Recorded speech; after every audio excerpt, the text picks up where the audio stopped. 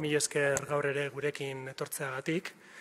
E, atzokoan, e, atzoko eguna izan zen gure aktivitate eta ronken erakusleioa, eta gaur aldiz, ba, bueno, etorri zaizkigun komita asesorreko espertoak, ba, aber zer nola egiten ditugun gauzak esplikatuko izkibute.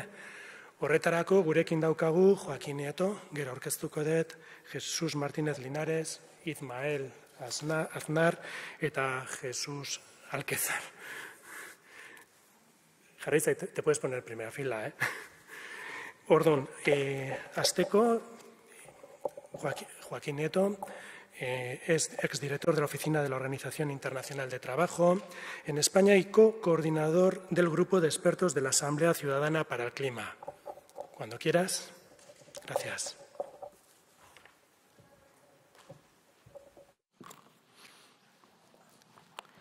Es que ricasco.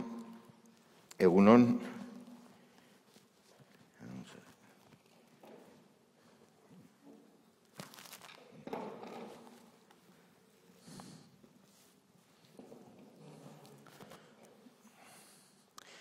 Es un privilegio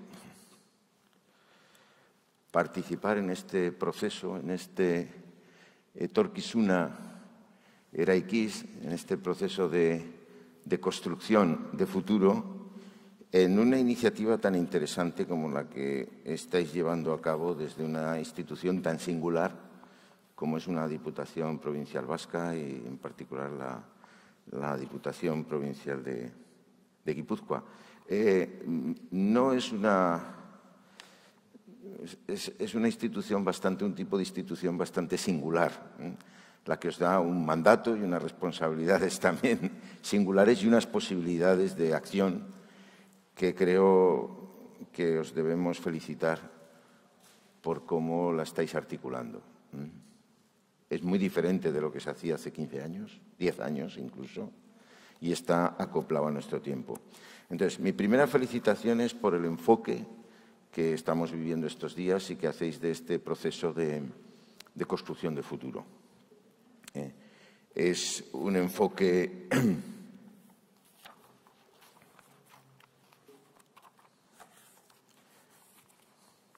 es un enfoque que tiene en cuenta las diversas dimensiones. O sea, no es solo la dimensión medioambiental, sino que hay otras dimensiones relacionadas. Obviamente es la dimensión económica y, y la dimensión social, aunque no son las únicas. Me gusta hablar de dimensiones y no de pilares, porque en realidad eh, eh, la, interacción entre unas y otras es enorme. ¿eh? También hay dimensiones éticas que han aparecido en las ponencias e incluso dimensiones culturales como las que hemos podido mm, vivir esta mañana, que, son muy importantes. Y en el vídeo que se presentó ayer sobre la, la palabra la transformación que habían tenido los sectores en, en, el País Vasco y en Guipúzcoa en particular, que me pareció muy sugerente.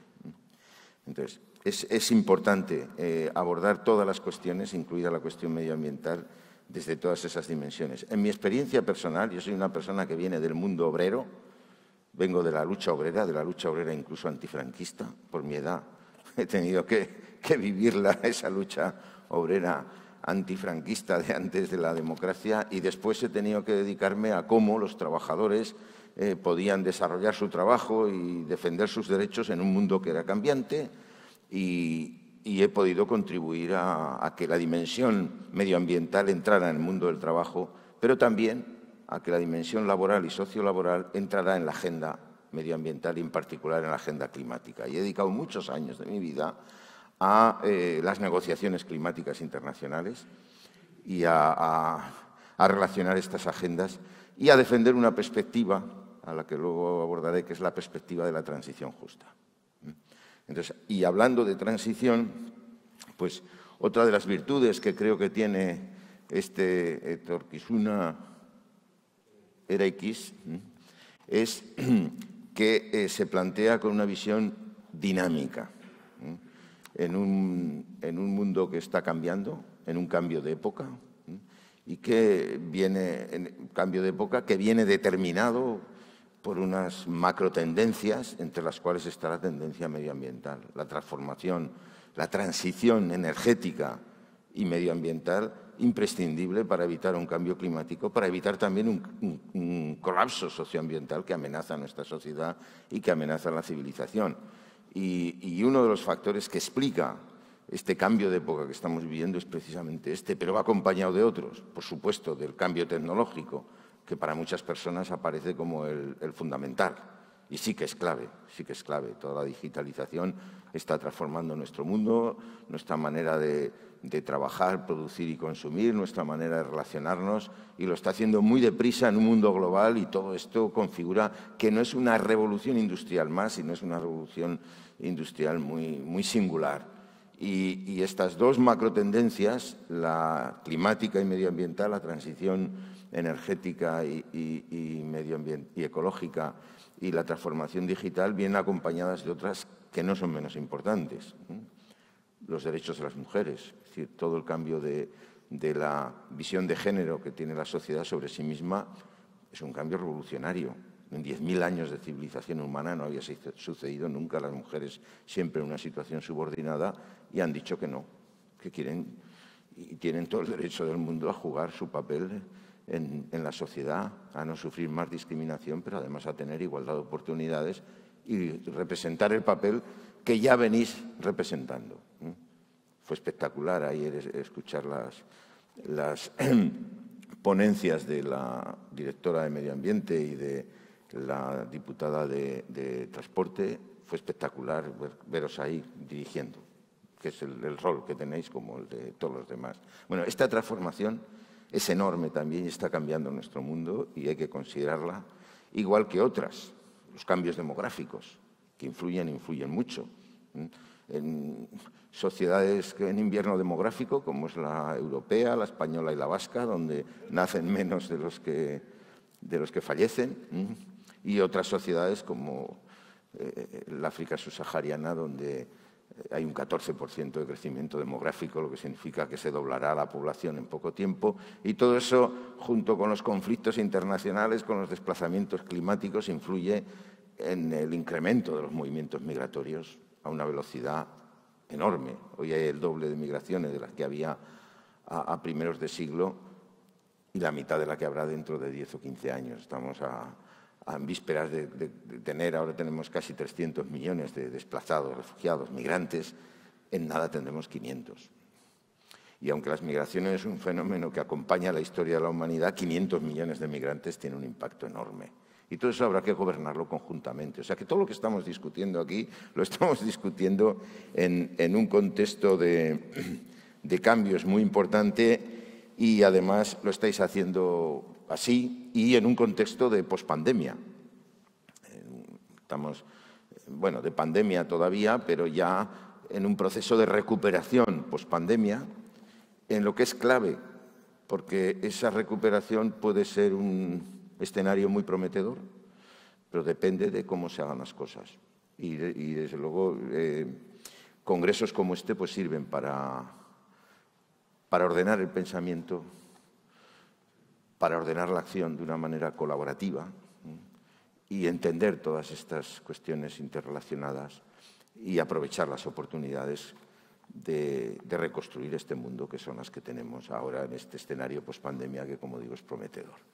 Y aquí en este grupo, bueno, hay otros grupos que van a hablar de las otras cosas, de la dimensión social, de, cómo, de cómo mantener y mejorar el estado del bienestar, en la ponencia de Cindia, Cincia ayer, claro, ayer ella decía las amenazas sobre, o sea, qué va a pasar con el estado del bienestar europeo.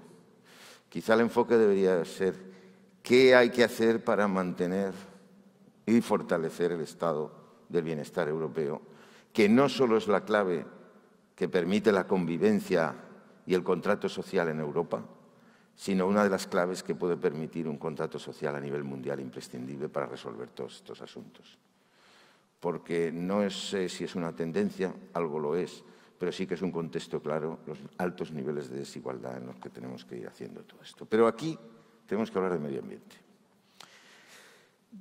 Bueno, mm, es impresionante y bastante apabullante la cantidad de no sé cómo diría yo, de líneas de acción, de, objetivos, de líneas de acción, de acciones, de medidas que habéis emprendido en un lugar, digamos, tan pequeño, aunque sea tan importante y tan dinámico como el de eh, Guipúzcoa y la Diputación de Guipúzcoa.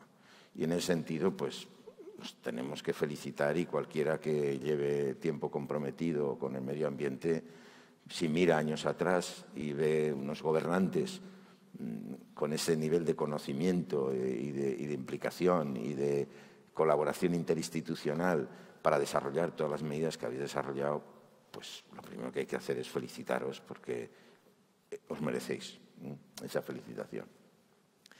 Y particularmente hay algunas cuestiones que destacan más que otras. Destacaría, por ejemplo, en, el campo de la energía, esa iniciativa de esas eh, comunidades energéticas y cooperativas energéticas. Eh, las comunidades que son un tipo de iniciativa diferente en, espacios públicos, espacios municipales, que se ponen al servicio de, para poder instalar energías renovables en un proceso de autoconsumo y de energía distribuida y ese fomento de las cooperativas para que las personas eh, puedan tener, los hogares puedan tener, disponer de, un autoconsumo a unos precios que explicabais aquí de 2.000, 3.000 euros de inversión, que son muy, muy, muy, eh, eh, muy golosos, muy interesantes, sobre todo en un tiempo que estamos viviendo con, los precios de la, electricidad que estamos viviendo. Y la verdad que si eso avanza es un ejemplo enorme. Y un ejemplo de que tiene un doble interés, porque una de las mejores contribuciones que puede hacerse eh, para evitar el cambio climático catastrófico, la descarbonización, no es solo el generar energías renovables, sino el hacerlo de manera distribuida, de hacerlo con autoconsumo. Porque el problema no es solo la fuente de energía, es también que hay que reducir los consumos de energía, hay que ahorrar, hay que aproximar los consumos de energía a las personas mismas y a las iniciativas que lo producen.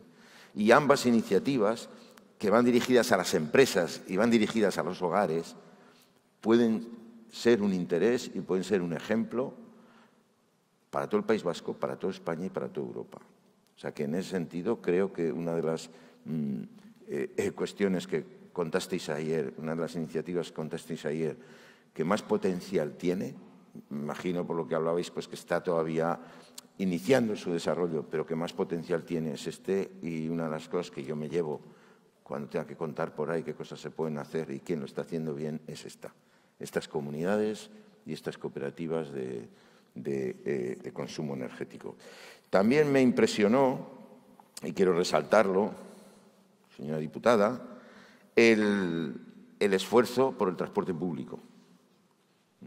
La conciencia de que hacer un esfuerzo por el transporte público, por, organizar, por organizarlo mejor, por hacerlo más accesible a toda la ciudadanía y por facilitar que toda la ciudadanía pueda eh, eh, eh, tener acceso a, un transporte en condiciones, mm, me pareció mm, todo el enfoque muy interesante porque además era un enfoque muy completo. O sea, había un enfoque social, había un enfoque medioambiental y un enfoque climático. Y no, y no en vano, cuando disteis resultados, la mayor reducción de emisiones en la provincia venía de los logros en el transporte. Y esos logros en el transporte no han sido una cosa espontánea. Ha tenido que ver con una acción pensada, decidida, en un ámbito en el que efectivamente la Diputación tiene competencias, tiene mandato y, por lo tanto, puede desarrollar todo lo que ha desarrollado. Entonces, mis eh, felicitaciones también, creo que es un ejemplo. Esto que ha hecho la Diputación de Guipúzcoa lo pueden hacer muchos otros organismos eh, urbanos, periurbanos, incluso rurales. Serán más difíciles, ¿eh? porque aquí no deja de ser una comunidad con poblaciones bastante integradas, su tipo de proximidad. ¿no? no, es, no tiene la facilidad de una gran urbe, pero sí tiene la de esas ciudades que tienen mucha relación unas con otras, pueblos grandes, en fin. O sea, se, dan unas buenas condiciones y las habéis aprovechado bien. Pregunté por el transporte al lugar de trabajo y yo sé que un buen transporte público ya resuelve el 80%, pero igual hay que resolver el 20% restante. Y hay cosas que solo se hacen si se trabaja con detalle. Se trabaja con detalle y se conoce en detalle, pues bueno, cuáles son los desplazamientos que tienen que ver con cada actividad. Y uno de los desplazamientos más importantes que existen en la vida cotidiana es el desplazamiento al trabajo. ¿Mm? Eh, ahora no todos los días, porque ahora también va a estar el trabajo a distancia, que tiene un recorrido muy interesante, pero casi todos los días las personas tienen que hacer dos o más trayectos al trabajo. Y estos trayectos cuentan. Y, ver cómo eh, ha mejorado la capacidad del acceso para que estos trayectos eh, se hagan con transporte público, no se hagan con el, transporte particular eh, o se facilite que no sea necesario hacerlo con el transporte particular, seguro que hay un recorrido de mejora y que ese recorrido de mejora lo podéis hacer porque vuestra experiencia promete. Y si va mejorando y complementándose con otros eh, ámbitos, pues seguro que acaba siendo una experiencia de muchísimo interés. Eh, está toda la cuestión, claro, qué pasa con el sector privado, qué pasa con la electrificación o no del sector privado, con cuestiones que desbordan en parte las competencias de, la Diputación, pero que apuntarlas y ver cómo se puede contribuir, yo creo que lo tenéis en cabeza y que seguro que no se os escapa una vez que habéis hecho cosas tan importantes. También eh, creo que se han logrado mm, avances serios en la recuperación de residuos, en la separación de residuos, en la participación de la ciudadanía, es verdad que esto, como buena parte de todo lo que habéis hecho, ha venido de un conflicto y ha sido el resultado de un conflicto. Esto significa una sociedad viva, una sociedad que se oponía a una incineración y que ha generado todo un, conflicto y que a la vez ha llevado a la conciencia a los responsables políticos de que algo tenemos que hacer sobre esto, algo tenemos que contar a la ciudadanía, algo tenemos que proponer a la ciudadanía y como muy bien explicaba la directora, una cosa lleva a la otra. al final cuando te metes a fondo y con sentido la responsabilidad sobre el mandato que tienes, pues acabas haciendo un programa tan completo medioambiental como el que habéis hecho. Pero bueno, yo sé que eh, hay una sensibilidad especial en asuntos residuos y esa sensibilidad especial ha llevado a políticas de, eh, importantes de recuperación, de separación y de recuperación con resultados importantes. Esos resultados del 52% real, no del que se dice, son importantes y son un ejemplo respecto a otros territorios que no tienen esos resultados y que podrían tenerlos. Y en este sentido, pues también hay que retener eh, ese avance. Me mm, completaría eh, con los aspectos que más me llamaron la atención con el de los indicadores.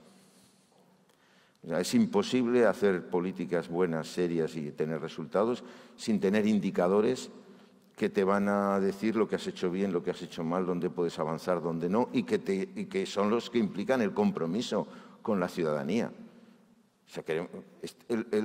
hoy en día las administraciones están llenas de planes y programas, pero no están llenas de indicadores con eh, resultado y con análisis de resultado y con eh, rendimiento de cuentas a la ciudadanía.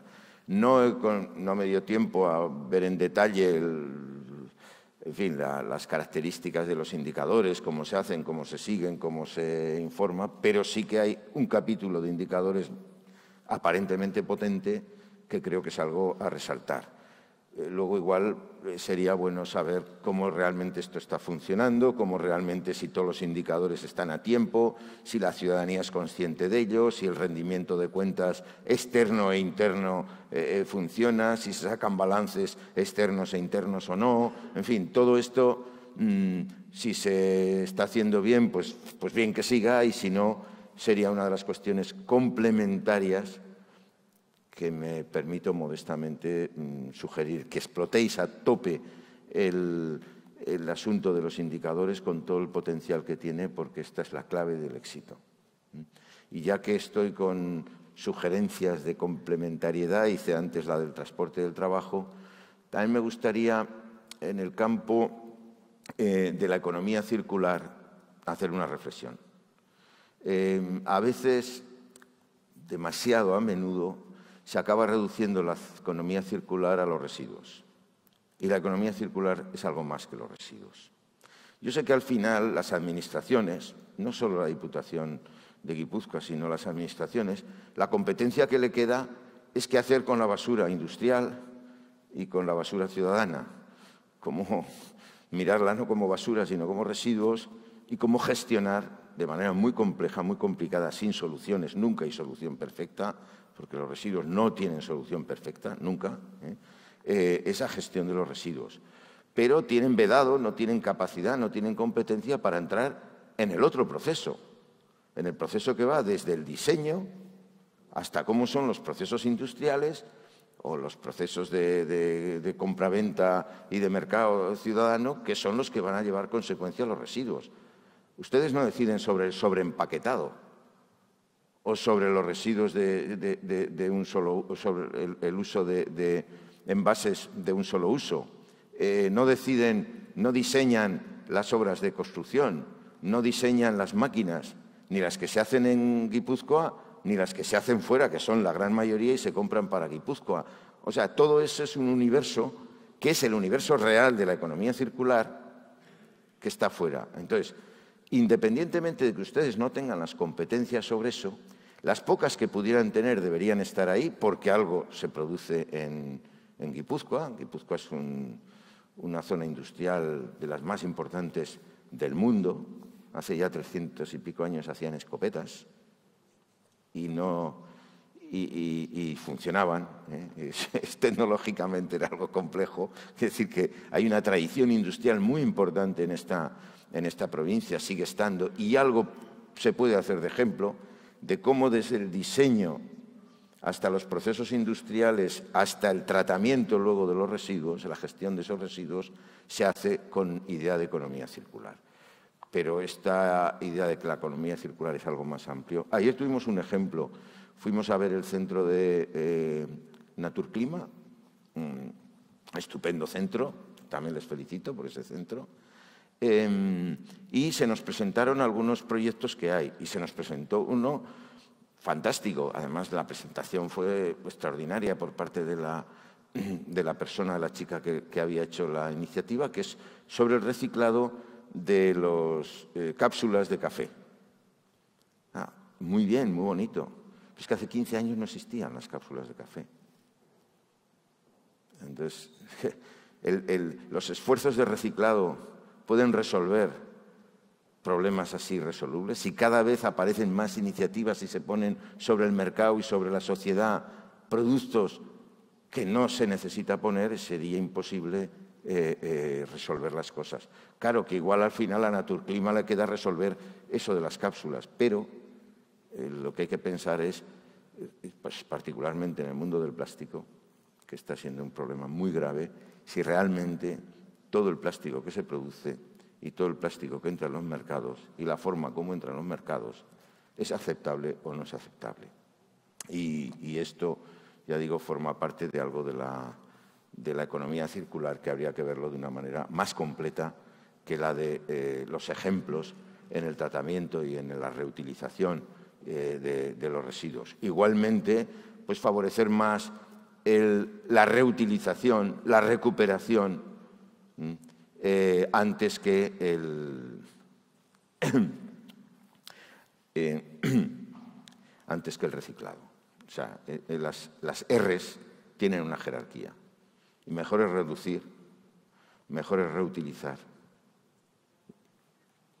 Mejor es reducir que reutilizar y mejor es reutilizar que reciclar. Esa jerarquía hay que mantenerla y en la visión de la economía circular creo que debería estar presente. Por lo demás, mm, no sé, mm, hay muchas cosas que van a poder complementar porque tienen el trabajo bien hecho. Cuando ayer en Naturclima oíamos cómo se está estudiando los impactos que está teniendo el cambio climático sobre una zona como Guipúzcoa, probablemente les dé pistas para cómo adoptar no solo un programa general de adaptación, sino medidas concretas de adaptación. Es decir, que creo que la capacidad de desarrollo con nuevas iniciativas que tiene el, programa de medio ambiente que, habéis, que estáis impulsando es clara. Y también tengo que decirlo, no está aquí el, diputado, pero que algunas de las iniciativas como esta de la, del hidrógeno verde, eh, creo que van a ser más controvertidas de lo que, de lo que parece y creo que la calificación de verde de este tipo de iniciativa es un asunto un tanto controvertido. Es mi obligación comentárselo y con total franqueza se lo comento. Bueno, mm, vuelvo a agradecer la invitación que me han hecho a participar aquí, pero vuelvo a agradecer sobre todo el compromiso de la Administración, Diputación de Guipúzcoa y del equipo de Medio Ambiente. Parece que es un equipo pequeño, pero la verdad que aquí la eficiencia ¿eh? es enorme respecto a la ponencia, me refiero de, David Lapuente, de ese equipo. ¿eh? vuelvo a agradecerlo y con esto termino mi presentación. Muchas gracias.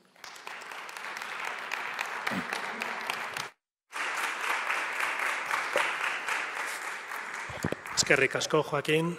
Orain, bigarren ponentearekin hasiko gera, en este caso es Jesús Alquezar, analista socioeconómico en la Dirección General para el Medio Ambiente de la Comisión Europea. Un etorri.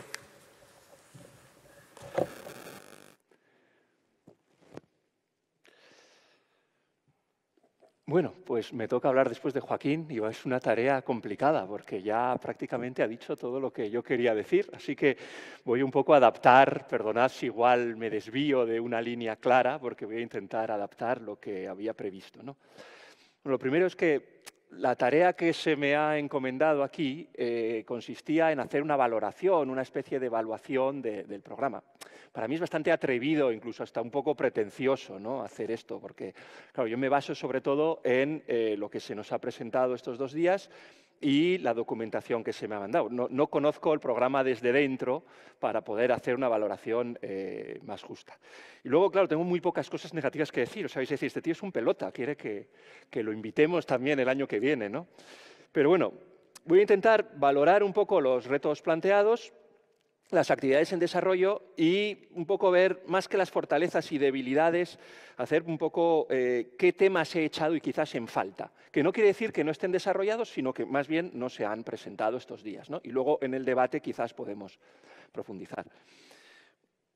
lo primero, bueno, como yo trabajo en la Comisión Europea, entonces evidentemente en mi valoración tengo un sesgo de las políticas europeas. Y una primera, una primera reflexión que haría es que eh, lo que se ha presentado estos días sigue realmente la lógica, una lógica muy similar a la planteada por la Unión Europea, por la Comisión Europea más bien, eh, sobre todo dentro del Pacto Verde Europeo. Siempre hablamos de cambio climático, pero sabemos que eh, nos enfrentamos a tres, cuatro, según quien sea vuestro interlocutor, crisis ambientales que están interrelacionadas. El cambio climático es una de ellas, fundamental, pero también la pérdida de biodiversidad, Mónica lo explicó ayer muy bien. Tenemos otra que es la contaminación. Este es un tema que no se ha tratado tanto, o sea, ya os pongo aquí una pequeña crítica para que no digáis que soy un pelota. Era un poco implícito en algunas de las presentaciones, pero es un tema que quizás yo he echado un poco en falta y la tercera, o lo que se suele decir en la jerga a veces, si habláis más con Naciones Unidas, etcétera, suelen hablar ellos de tres crisis y una explotación excesiva de los recursos, que es como un catalizador de todas, o la cuarta crisis, si queréis, es esta explotación excesiva de, de los recursos. Entonces, el Pacto Verde Europeo lo que pretende es resolver estas tres, cuatro crisis de una manera sistémica y coherente. Y esto sigue lo que nos está diciendo la ciencia. No podemos pretender resolver el cambio climático perjudicando a la biodiversidad. Y bueno, no voy a profundizar sobre esto porque Mónica lo explicó perfectamente. Los servicios ecosistémicos que nos aporta la naturaleza los necesitamos para la mitigación y para la adaptación. Entonces, esto es un primer punto muy positivo porque muchas veces en las políticas públicas incluso dentro de la Unión Europea, no, nos engañemos.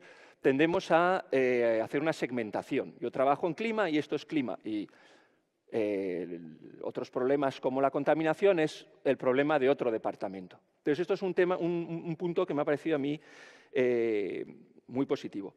Un segundo punto muy positivo, también relacionado con una de las prioridades del Pacto Verde Europeo, es este enfoque muy fuerte en la desigualdad cómo tenemos que conseguir una transición justa. Y sabéis que en el Pacto Verde Europeo hay este principio de no dejar a nadie atrás. Pero lo que me gustó aquí en particular eh, es que aquí hubo casos muy concretos. Ya lo ha explicado Joaquín, el caso de la movilidad. Creo que se explicó ahí muy bien este enfoque. ¿no? Eh, mientras que muchas veces, incluso eh, voy a tirar piedras sobre mi tejado, ¿no? pero en la Comisión Europea sí hablamos de esto, pero muchas veces se queda un poco en el discurso, también por problemas competenciales, etc.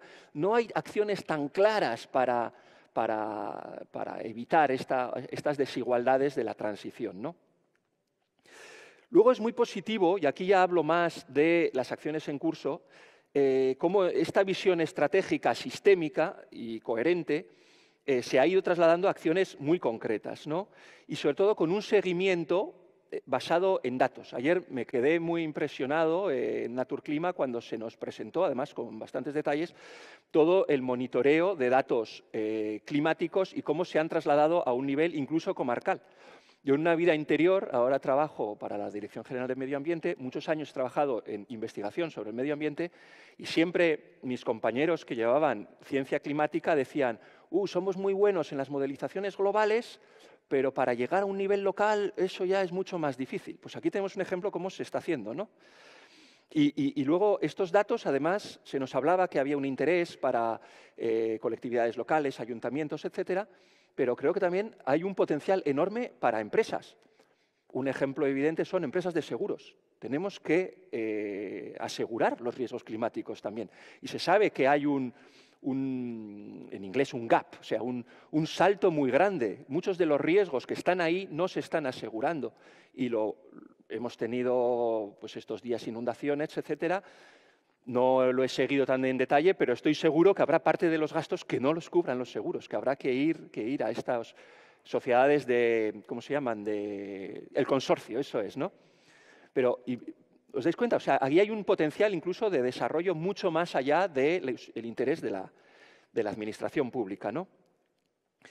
Luego, bueno, yo ya conocía, porque bueno, he colaborado alguna vez con Diputación, el trabajo que se está haciendo sobre la economía circular que, para mí me parece ejemplar, ¿no? Y bueno, los datos están ahí para, para mostrarlos. Y también me gustó mucho, eh, y aquí también lo ha explicado muy bien Joaquín, el trabajo sobre las comunidades y cooperativas energéticas. Ahora mismo la Comisión Europea está empezando a trabajar, la semana pasada, sobre una, una, iniciativa sobre la energía solar. Y una de las cosas que se quiere potenciar es precisamente las comunidades energéticas, el autoconsumo no se habla de cooperativas, pero creo que el ejemplo que se presentó aquí sería muy útil para la, Comisión Europea. Y de hecho, me voy a permitir los días que tengamos reuniones decir, coged este ejemplo, porque creo que está muy bien.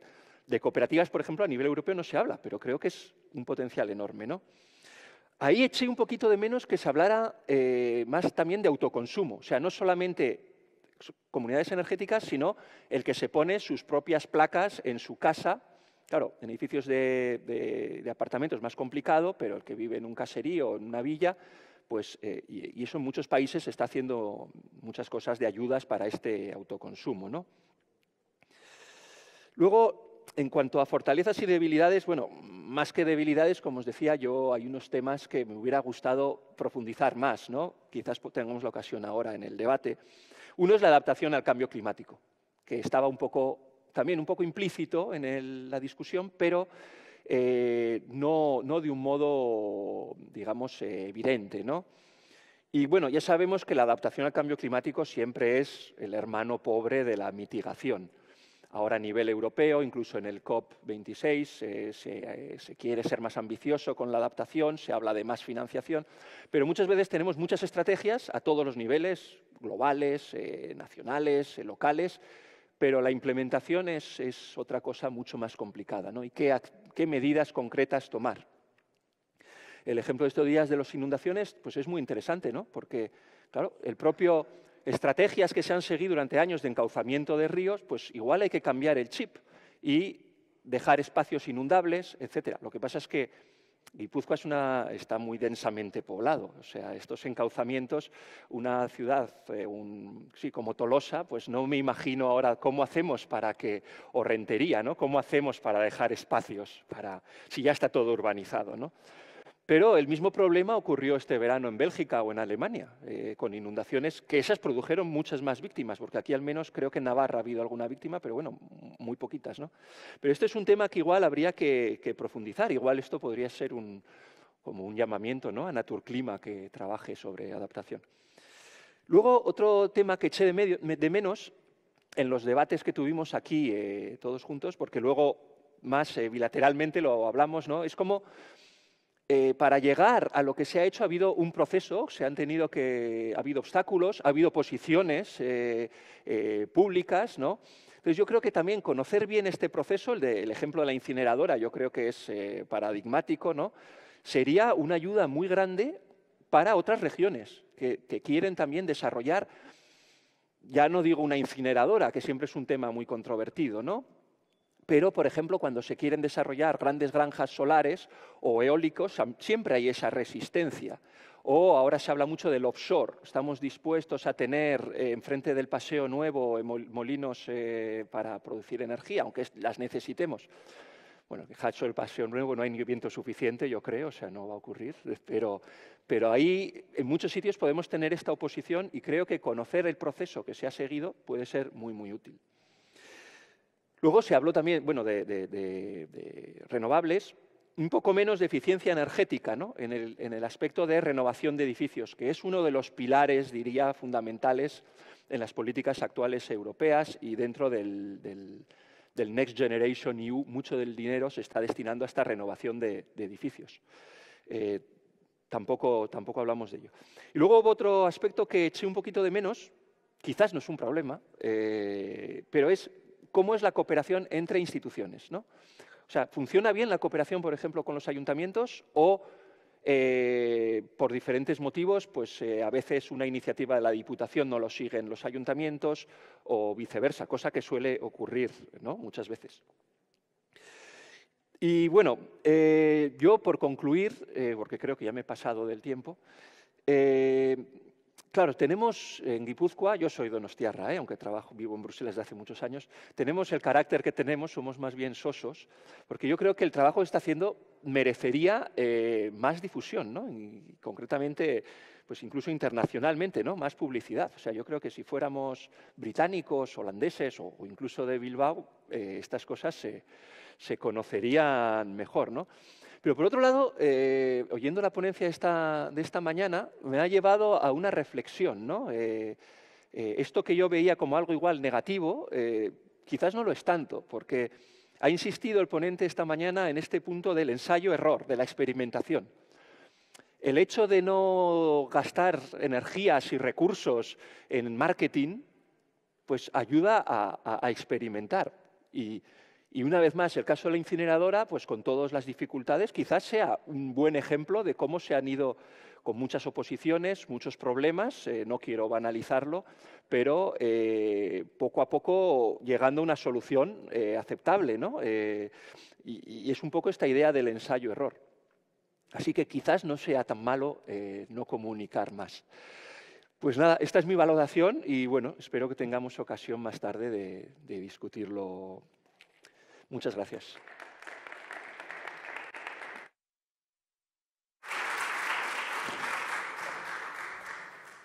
Eh, Jesús, mascarilla. Yo no la toco. Es que ricasco Jesús, mi esker. Eta eh, Jesús Martínez Linares, izango dugu. Jesús Martínez Linares es vicepresidente de Economía Circular y Cambio Climático en el Inspiring Committed Leaders Foundation y fundador de Clima Limpio.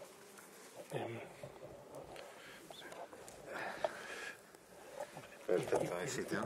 Y luego, cuando quieras el vídeo, le das aquí. Con la, la barra, despacio.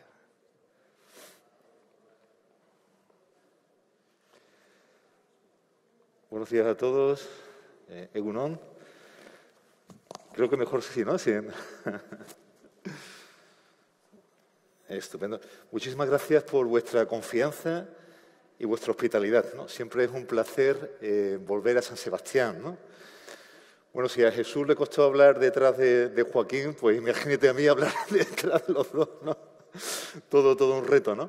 Pero para no ser redundantes, eh, y dado que tenemos tiempo en la mesa redonda posterior, ¿no? para que os presente mis recomendaciones como, como científico experto, yo creo que, eh, con vuestro permiso, me voy a concentrar en esta primera presentación en algo que simplemente es esencial, que es el relato. Y dejamos la parte más técnica ¿no? para la mesa. Bueno, de confesar que los asesores hemos leído, ¿verdad Jesús?, disciplinadamente todas las 80 páginas del dossier, con cierto placer, porque se adivina la mano experta ¿no? de Alfonso Unceta. Eh, pero bueno, para que veáis que hemos llegado al final, voy a hablar del epílogo, que está justo al final, que dice algo muy, muy interesante. Nos dice que eh, los datos han venido últimamente a sustituir a las narrativas, pero que eh, los primeros se olvidan, mientras que las narrativas permanecen. Y permanecen porque pues, nos implican como personas, pues conectan con nuestras vivencias. Por lo tanto, yo creo, ¿verdad?, que es la hora de los relatos. Necesitamos relatos, relatos para unir ciencia y conciencia, administraciones públicas y ciudadanos. Lo que no se comunica no existe, definitivamente. Hacéis muchas cosas bien, muchas cosas bien, pero hace falta eh, comunicarlas, hace falta que lleguen a la ciudadanía para conseguir formar una comunidad de visión en torno a un proyecto compartido de construcción de futuro. Como declaráis en este epílogo, nos invitáis a contratar vuestro relato con el nuestro, ¿no? como expertos externos, así que, a petición vuestra, os voy a contar el mío.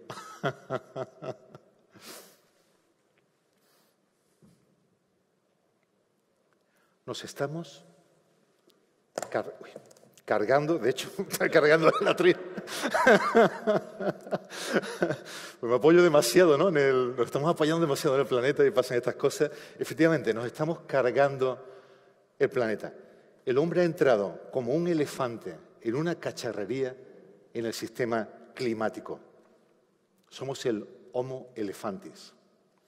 El efecto térmico equivalente del cambio climático es como el de tirar 600.000 bombas de Hiroshima, no al año, sino al día.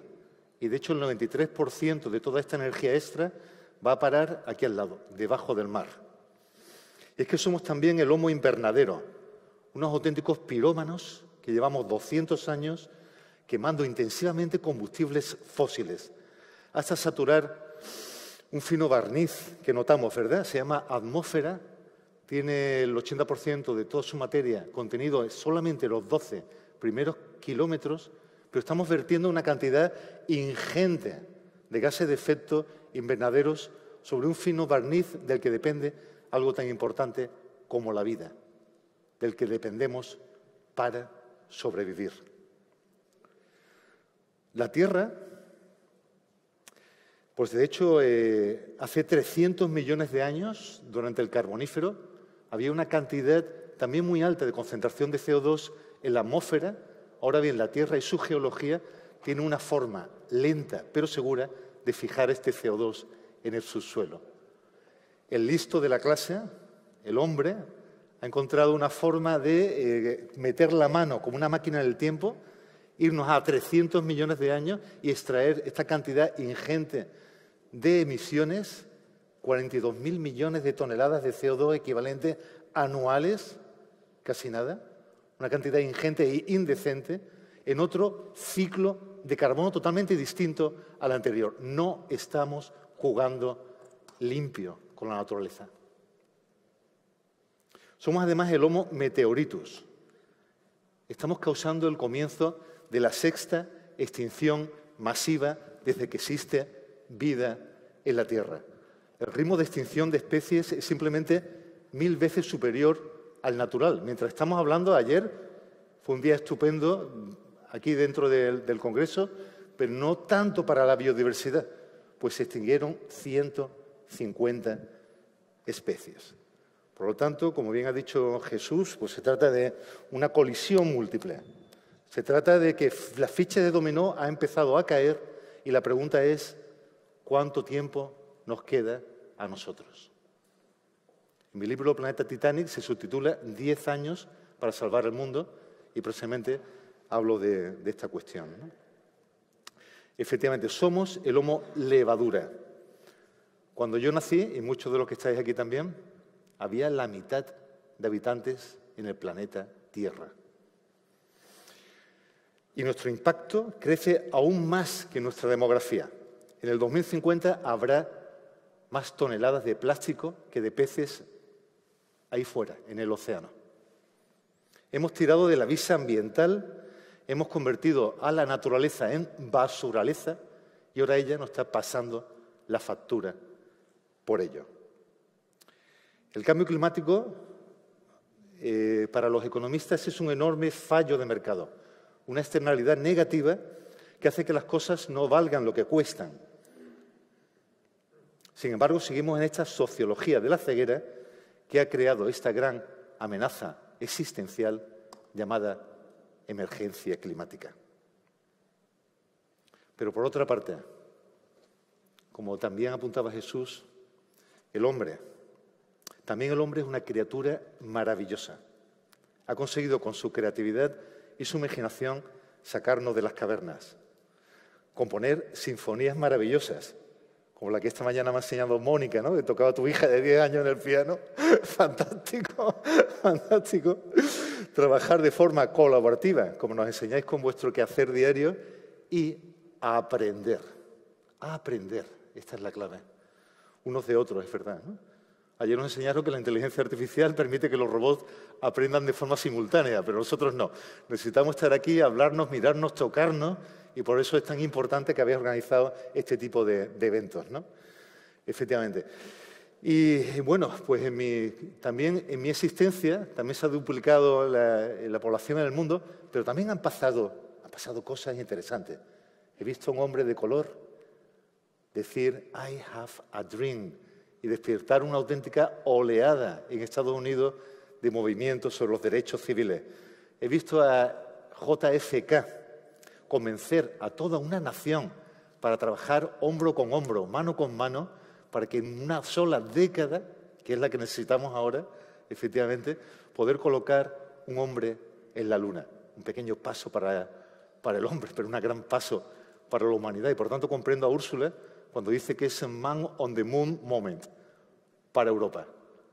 De hecho, Jesús, yo, yo sé que hace 500 años Europa consiguió iluminar, asombrar al mundo con el Renacimiento, poniendo al hombre como medida de todas las cosas. Ahora tenemos una auténtica oportunidad histórica de volver a asombrar el mundo. Europa está liderando el proceso, tenemos que, seguir liderándolo, podemos, es un tren que va a pasar sí o sí, podemos quedar dudándonos y quedarnos relegados al furgón de cola o podemos saltar con Europa de la mano y tener un auténtico proyecto, no de Estado, no de continente, un proyecto de humanidad. Porque sabéis una cosa, podemos volver a asombrar el mundo. Esta vez colocando no al hombre, sino al planeta en el centro. El planeta como medida de todas las cosas.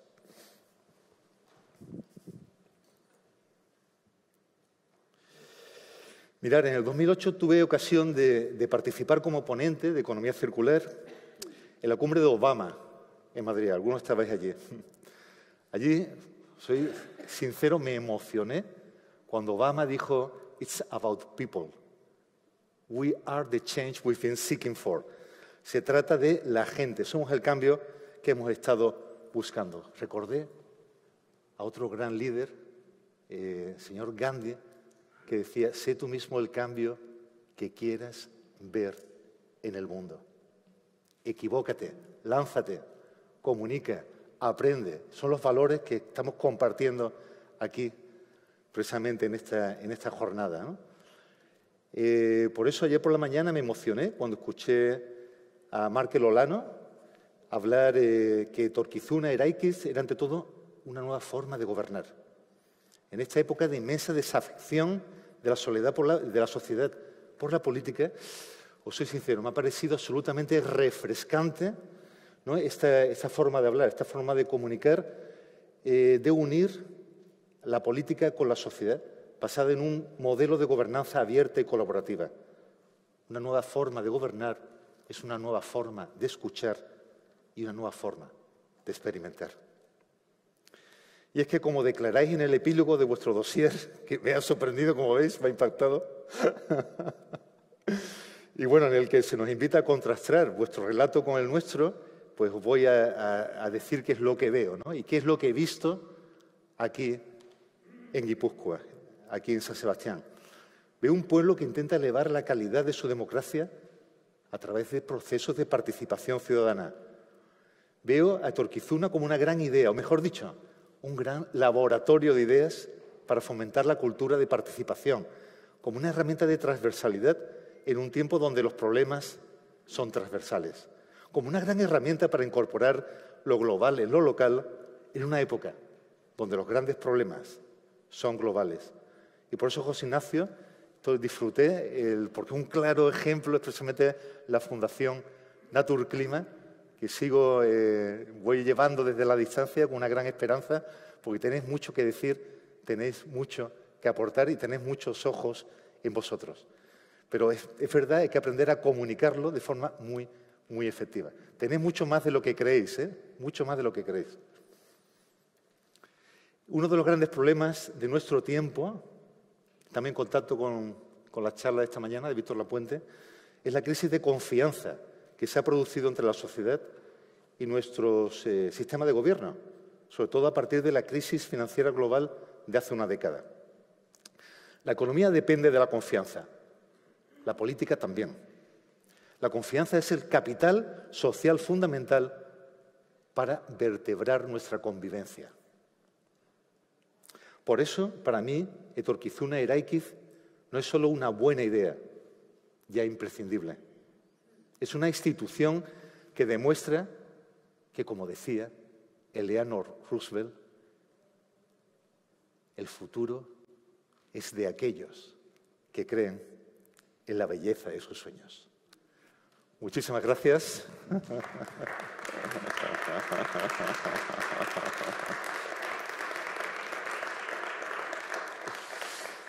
Bueno, yo ahora tengo una sorpresa, un regalo, una primicia. Vais a ser los primeros en ver esto. y os lo cuento rápidamente, ¿no? Y todo viene de, de cuando Obama, cuando me impresionó Obama en Madrid, cuando habló de It's About People. Yo como soy físico cuántico siempre me pregunto cuánto, ¿no? It's About People, pero ¿cuánta gente? ¿Cuánta gente hace falta para solucionarlo, para doblar la bola de nieve ha empezado a rodar en París, pero no va a la suficiente velocidad. Hace falta doblarla. Sabéis que con Glasgow vimos que con los planes nacionales de, reducción de emisiones nos vamos a 2,7 grados, no a 1,5. Por lo tanto, hay que doblar totalmente el momento de esa bola de nieve. ¿Cómo lo hacemos? No? Bueno, eh, mirando, descubrí eh, un trabajo de Erika Chenoweth de la Harvard Kennedy School of Economics, que había descubierto que la historia, miró todas las revoluciones del siglo pasado y descubrió que si en un momento pico hay un 3,5% de la población involucrado como activista, era imparable. Haciendo los cálculos, a mí me sale el 1,5% de la población. Ciudadanos 1,5 es 1,5% de la población que pueden evitar que la temperatura incremente por encima de 1,5 grados. ¿Y sabéis quiénes son esos ciudadanos 1,5? sois vosotros. Sois vosotros. Y por eso, desde la Fundación Sustenta, hemos lanzado un movimiento cívico internacional para poner el planeta en el centro. Y os voy a poner aquí el primer vídeo de este movimiento en donde os vais a ver reflejados.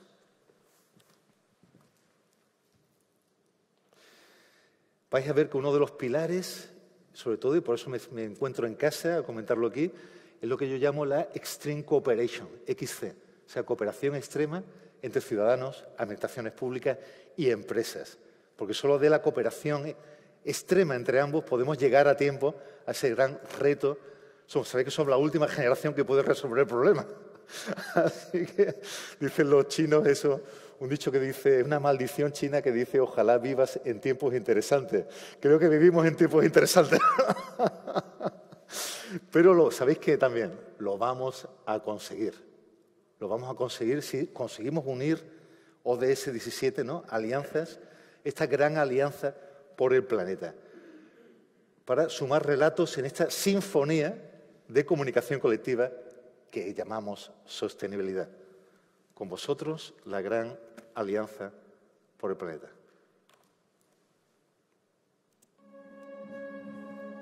Resulta curioso cómo el ser humano se ha acostumbrado a vivir sentado en un cómodo sillón. Nos pasamos los días consumiendo debates vacíos, juzgando a los que intentan hacer de este planeta un lugar mejor. Escépticos y convencidos de que hay ciertos problemas demasiado grandes para la acción de una sola persona. Pero esa verdad que no queremos escuchar y que por eso callamos con tanto ruido es que todos estamos a bordo de este planeta y que este planeta se va a estrellar. Bienvenidos al planeta Titanic. La buena noticia es que el iceberg no es el cambio climático. El iceberg somos nosotros. Por eso tenemos que asimilar dos cosas. La primera es que nuestras acciones, por pequeñas que sean, pueden y hacen la diferencia. La segunda es que nos quedan menos de 10 años para que los efectos del calentamiento global sean ya irreversibles. Por eso necesitamos una gran alianza por el planeta que pueda generar un impacto social. Así nace el GAP, un movimiento de personas, de activadores y generadores de cambio, a los que no los mueven grandes ideales, sino la suma de pequeños logros. Así, buscan inspirar desde el ejemplo para poco a poco alcanzar el gran objetivo de construir un mundo mejor. Aprovechemos la última oportunidad que tenemos para virar el rumbo de nuestro planeta Titanic. Sustenta Environmental Civic Association. Pon al mundo en tus manos. Muchas gracias.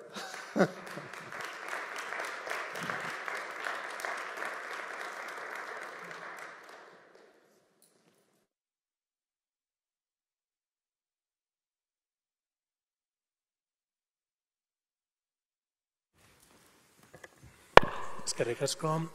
Y para terminar, Ismael Aznar, por favor. Ismael Aznar, director general de Calidad y Evaluación Ambiental del Ministerio de Transición Ecológica.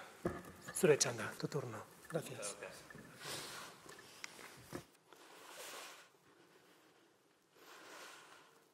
Bueno, pues muchas gracias, eh, Esquerri Casco. Muchas gracias por, por darnos la, la, oportunidad también desde el Ministerio de participar en este, en este congreso eh, y, y, darnos la oportunidad de, comentar lo que estáis haciendo, que me produce, también como decía Jesús, ¿no? me produce cierto, cierto pudor. Eh, si, si, si, si, yo sometiera a examen mi propia administración, vamos, probablemente eh, sería mucho más, mucho más crítico de lo que voy a ser hoy porque, porque efectivamente, como ya han dicho otros ponentes, lo bueno de hablar el último es que buena parte de las cosas se han, se han dicho ya, lo bueno y lo malo. Pero como han dicho muchos ponentes, eh, se están haciendo muchas cosas en Guipúzcoa y se están haciendo muy bien. Se están haciendo muy bien, eh, si, sobre todo si comparamos eh, con el trabajo de otras administraciones que quizá van o vamos un poquito, un poquito por detrás. Se están haciendo muy bien, que no quiere decir que, no haya elementos de, mejora, ¿no? porque en, esto, en estos asuntos como sabéis, la urgencia es tal, la dimensión del cambio que necesitamos es, es de tal envergadura que, siempre vamos por detrás, siempre vamos por detrás de lo que, de lo que resulta necesario y, por tanto, siempre hay eh, capacidad de, mejora. Y como se nos pide pues, un análisis crítico, pues lo vamos a hacer.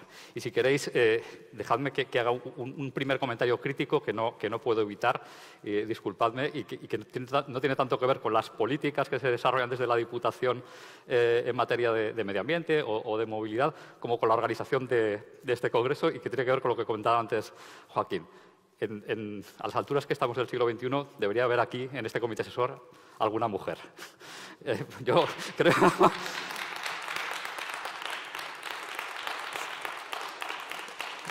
tenemos, te, tenemos que acostumbrarnos y creo que desde las administraciones tenemos que dar ejemplo de que, bueno, pues estos, estos, en estos escenarios públicos eh, sirve también un poco eh, de escaparate hacia el exterior y, no podemos permitirnos que seamos, que seamos todos hombres los que participemos en el, en el comité asesor.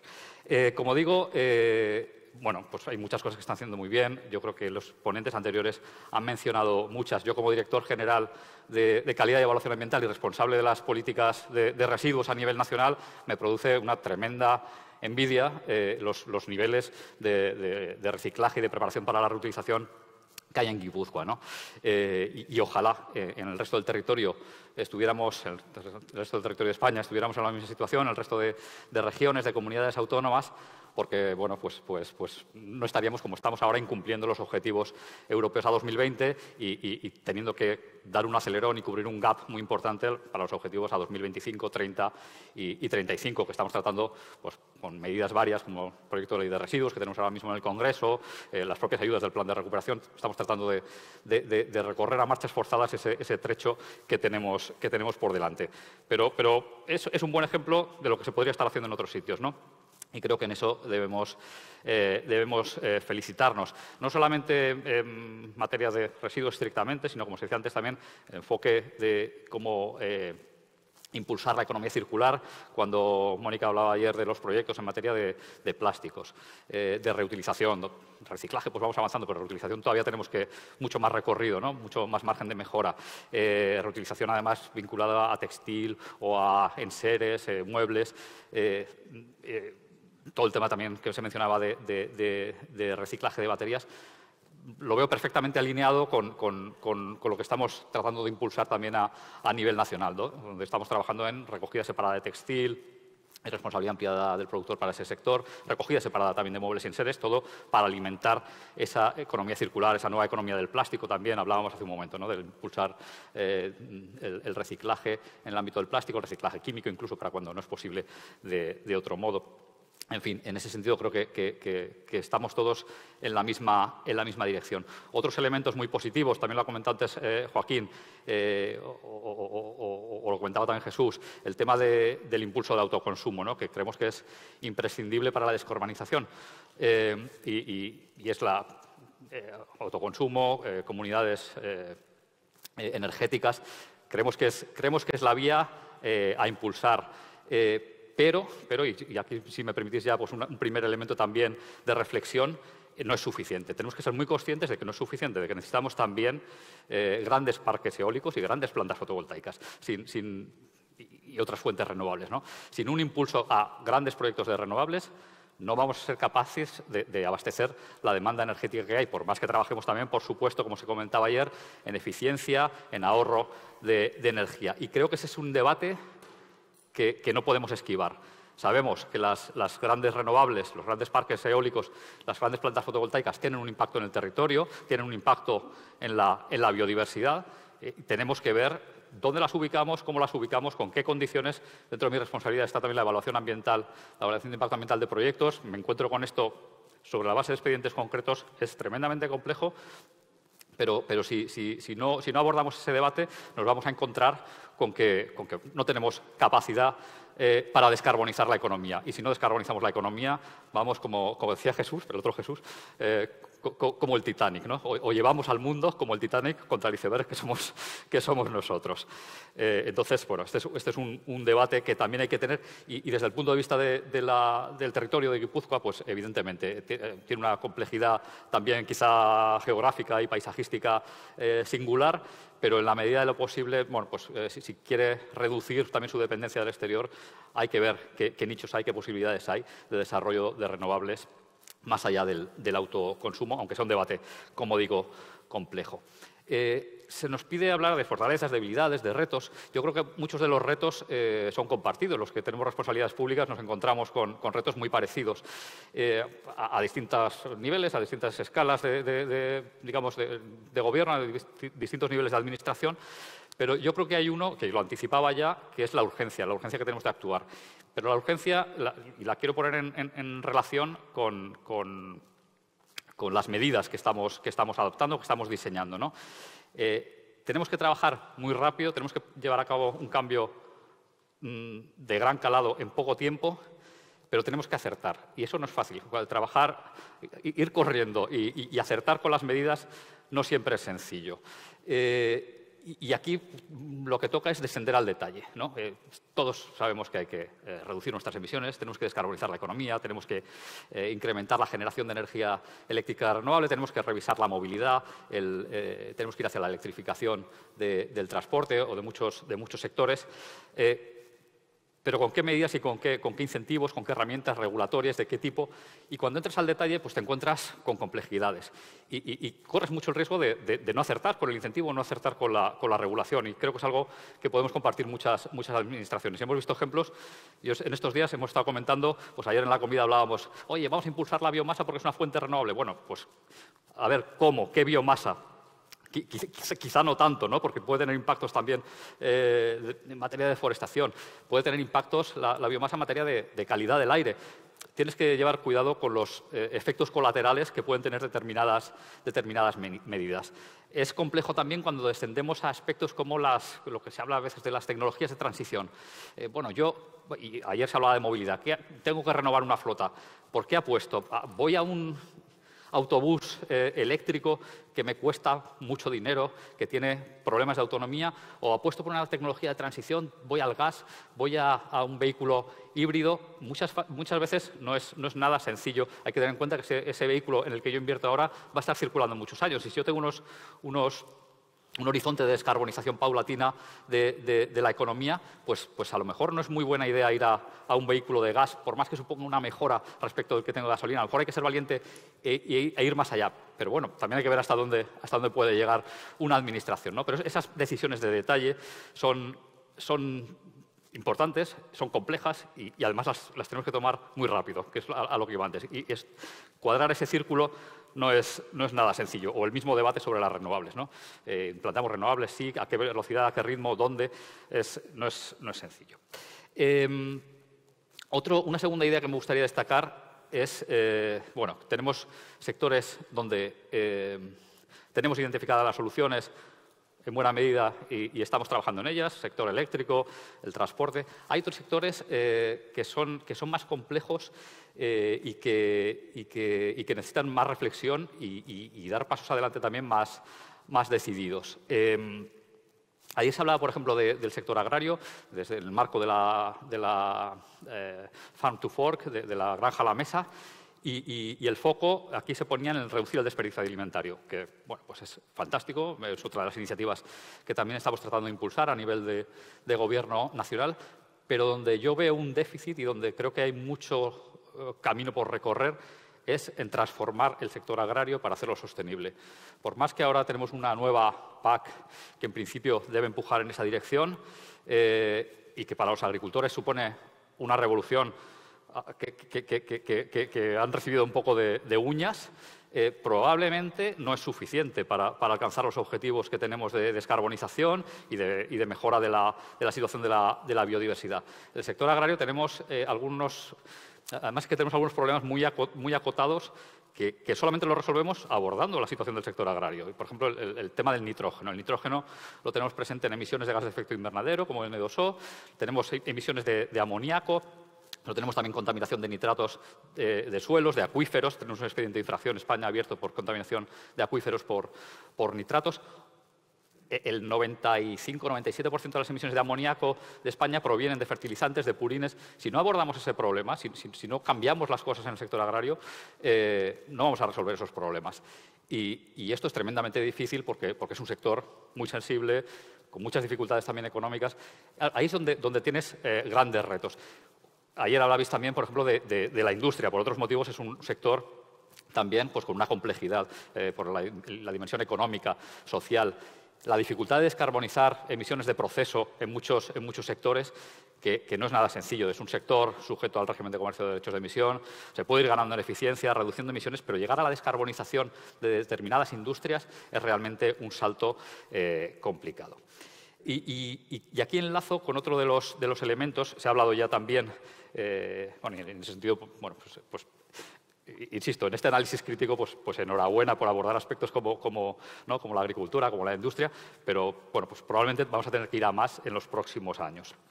Eh, y aquí, pero enlazo aquí en un tema que, creo que es muy importante y que entronca con, con, con lo que es este, este congreso, que, parte de una iniciativa, entonces, hizo una era X de, gobernanza, ¿no? que es eh, em, cómo hacemos posible ese cambio, cómo, logramos vencer las resistencias sociales a, ese cambio. Se ha hablado de transición justa. De, no dejar a, de no dejar a nadie atrás, eh, pero yo creo que hay que ir un, paso más allá. Eh, no se trata solamente de, de, acompañar a los más vulnerables, a los que pueden sufrir las consecuencias negativas del cambio de modelo, de pérdida de empleos y demás, sino creo que necesitamos un apoyo activo de los ciudadanos a estas políticas que no siempre resulta eh, sencillo. muchas veces nos encontramos con ciudadanos que comparten el discurso general, pero cuando desciendes a la medida concreta y le impones obligaciones o, le, abres una planta de gestión de residuos en su término municipal, pues te encuentras resistencias, lógicamente. ¿no? Y tenemos que, ser capaces, con mecanismos de gobernanza, de, involucrar al ciudadano, de ponerlo en el centro, que, se sienta protagonista del cambio y, que aprecie los beneficios del cambio. Yo creo que ahí hay elementos eh, en los que, en los que esos beneficios se ven claramente. Y cuando hablamos de descarbonizar la economía, pues de la mano van, eh, muy a menudo, casi siempre, por ejemplo, en temas de movilidad, nos, encontramos con, mejoras también en, calidad del aire, en salud, en el entorno eh, que, disfrutan los ciudadanos y, por tanto, en su, calidad de vida. Si, cambiar la movilidad puede ser una oportunidad para repensar las ciudades, hacerlas más humanas, más habitables, y, si el ciudadano aprecia ese, cambio, y lo hemos visto en muchos sitios, lo hemos visto en, sin salir del País Vasco, en el caso de Vitoria, que se pone como ejemplo muchas veces de ciudad que ha apostado por un modelo eh, más sostenible y que los ciudadanos aplauden, o en, Pontevedra, donde se bueno, se, ha, decidido llevar a cabo una política de, reducir en buena medida el acceso del vehículo a la, ciudad, contestada al principio, pero bueno, el, alcalde de, Pontevedra lleva, lleva, 20 años después de haber, de transformado la ciudad. ¿no? Y los, ciudadanos han acabado apreciando las ventajas de un modelo sostenible que le da, eh, calidad eh, de vida. Pero, hay otras medidas que se pueden pensar. ¿no? Yo recientemente he visitado una planta de, tratamiento de residuos en, en otro lugar, en la Comunidad Valenciana, y me llamó la atención porque habían hecho toda una galería para visitar la planta, para, para, para, poder verla sin, pasar por medio y acabar oliendo a, lo que huelen las plantas de, gestión de residuos. Y, era tremendamente educativo. Y, creo que es buenísimo que, que, los ciudadanos, y me contaba el director general, claro, es que esto, esto lo hemos hecho aquí, lo quiero hacer en otra planta, me están diciendo, pero ¿cómo te vas a gastar tanto dinero en esa galería que, no aporta nada a la gestión de residuos?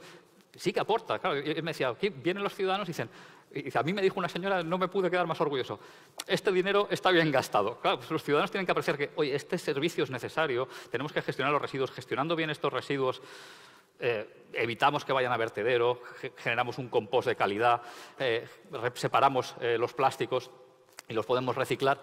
Si, los ciudadanos ven eso, son capaces de verlo y de apreciarlo, pues tenemos aliados que nos van a permitir eh, hacer posible este cambio. Y en ese sentido creo que, iniciativas de gobernanza novedosas pues son tremendamente útiles. Quizá aquí me falta, pero que no, sé si por la presentación de ayer, no sé si, es que no estaba reflejado o, quizá lo podemos comentar después, eh, cómo este proceso, ¿no? cómo este programa de, construir el futuro eh, eh, ha alimentado las políticas de la Diputación en materia de transición ecológica o, al revés, o cómo está previsto que lo, alimente en el futuro. ¿no? Eh, pero, pero, sí que sería muy interesante este, en este laboratorio de esta propuesta novedosa que, es la, iniciativa. Eh, ver un poco qué reflejo tiene eso en, las medidas de, de, transición ecológica y en el apoyo de la ciudadanía en este, en este proceso.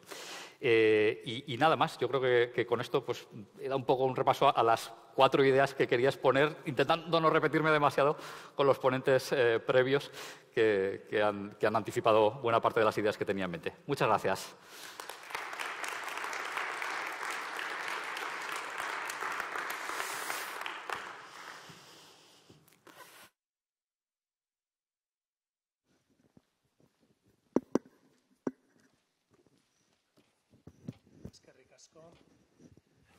Y ahora vamos a dar paso a una mesa redonda con los cuatro asesores. Y José Ignacio Asensio, por favor.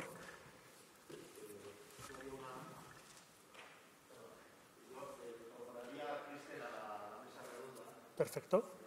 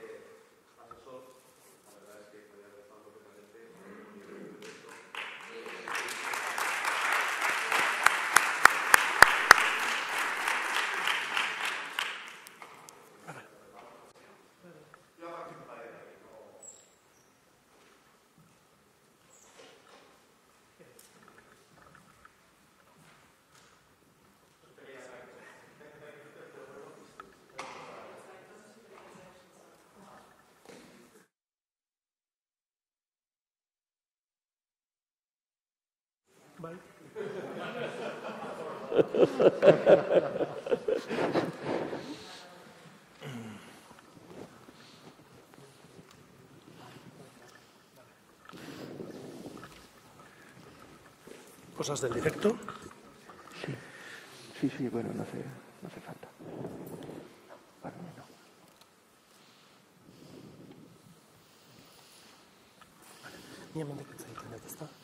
Edo nahi. Beren zait. Perfecto. Entzuten da? Bai. Bueno, mi esker, eh, honetan parte hartzagatik, gracias a todos por ser partícipes de esta mesa redonda y bueno, después de vuestros análisis y de vuestras recomendaciones tenemos una serie de cuestiones que vamos a plantear, ¿de acuerdo?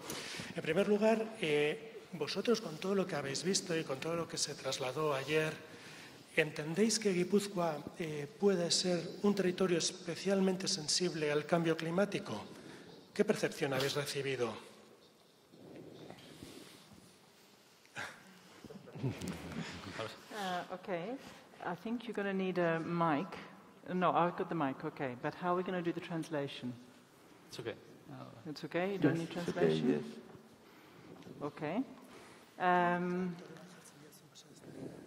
well, uh, I feel a little bit, uh, I, perhaps I need to explain a little bit my perspectives on what I see in a Turkisunara case uh, in order to answer that question. Um, and perhaps I should also explain where I'm speaking from. Um, so, my name is Kirsten Dunlop. I am a partner, uh, I represent an organization that is partnered with the Diputación uh, Foral of Guipúzcoa uh, and has been working on a deep demonstration for sustainability, bringing together the portfolio of Etorkisuna Regis with a set of perspectives that in, do, in fact, include decarbonization, adaptation, and the intersection with social cohesion. So, my perspective uh, has two pieces to it uh, in response to your question. I think that the approach to climate change itself and to decarbonization and adaptation needs to be significantly more ambitious and transformative. And I would very much echo what I've just heard in the last speaker's intervention. To achieve uh, reality, the reality of what climate change requires, a very significant gear shift is needed in terms of the policies and approaches. Um, and I can explain why um, and what, what I think is needed there. Um, what I see as the extraordinary opportunity for Gipuzkoa is the fact that a discourse about climate action, about decarbonization, and hopefully more and more about uh, adaptation together with decarbonization is contextualized within the context of an initiative like hmm. Itorkisuna case. Because when you look at the problem of climate change from the perspective of someone who does the work I do, which is to work back from what is actually needed by 2030, 2040, 2050, the number one challenge in, in what we need to achieve globally and within Europe is a social transformation that is at the absolute heart of an economic and industrial transformation, mm-hmm. that is at the absolute heart of a reconceptualization of our relationship with the natural environment, with the resources, and with one another.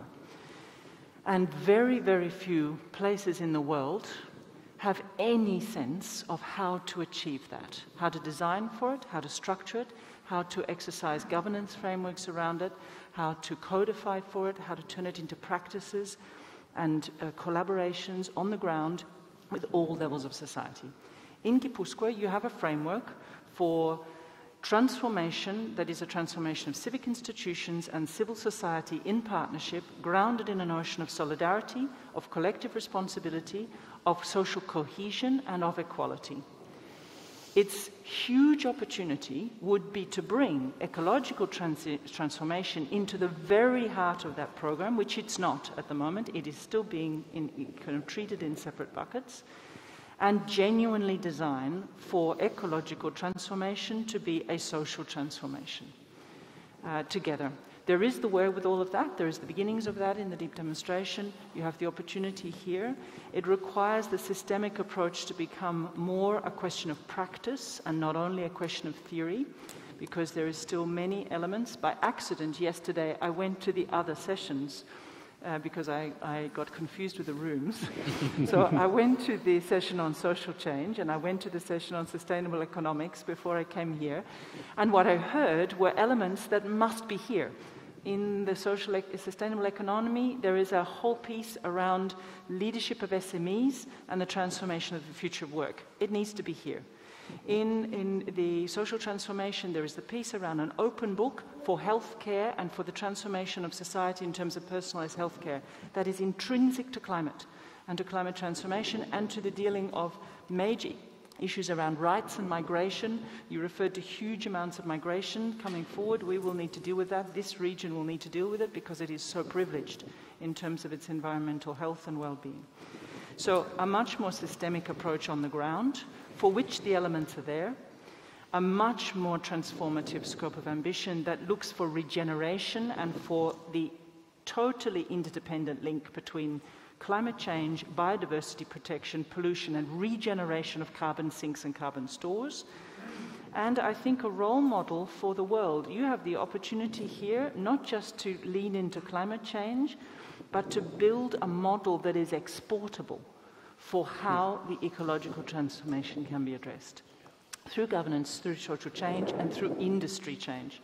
And I'll stop because I have so much more to say on the way in which this region could lock itself into the European programming and, and to Europe's priorities in the next 10, 10, years, but I would speak for the next 20 minutes. So let me stop.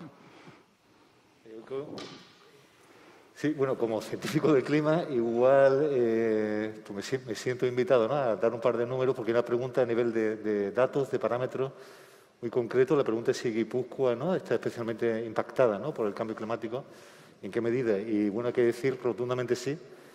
O sea, los números son, hablan por sí solos. Tenemos en, o sea, el incremento de temperatura a nivel de superficie promedio global en el último siglo ha sido eh, 0,96, un grado eh, un grado centígrado, en España ha sido 1,5, muy superior a la media, pero es que en Guipúzcoa ha sido 1,2, pero no en 100 años, sino en los últimos 50 años. A nivel de subida del nivel del mar, desde el 1990 se ha comprobado una subida de 2,5 centímetros por década, pero acelerándose rápidamente y ahora está ya más, de 3.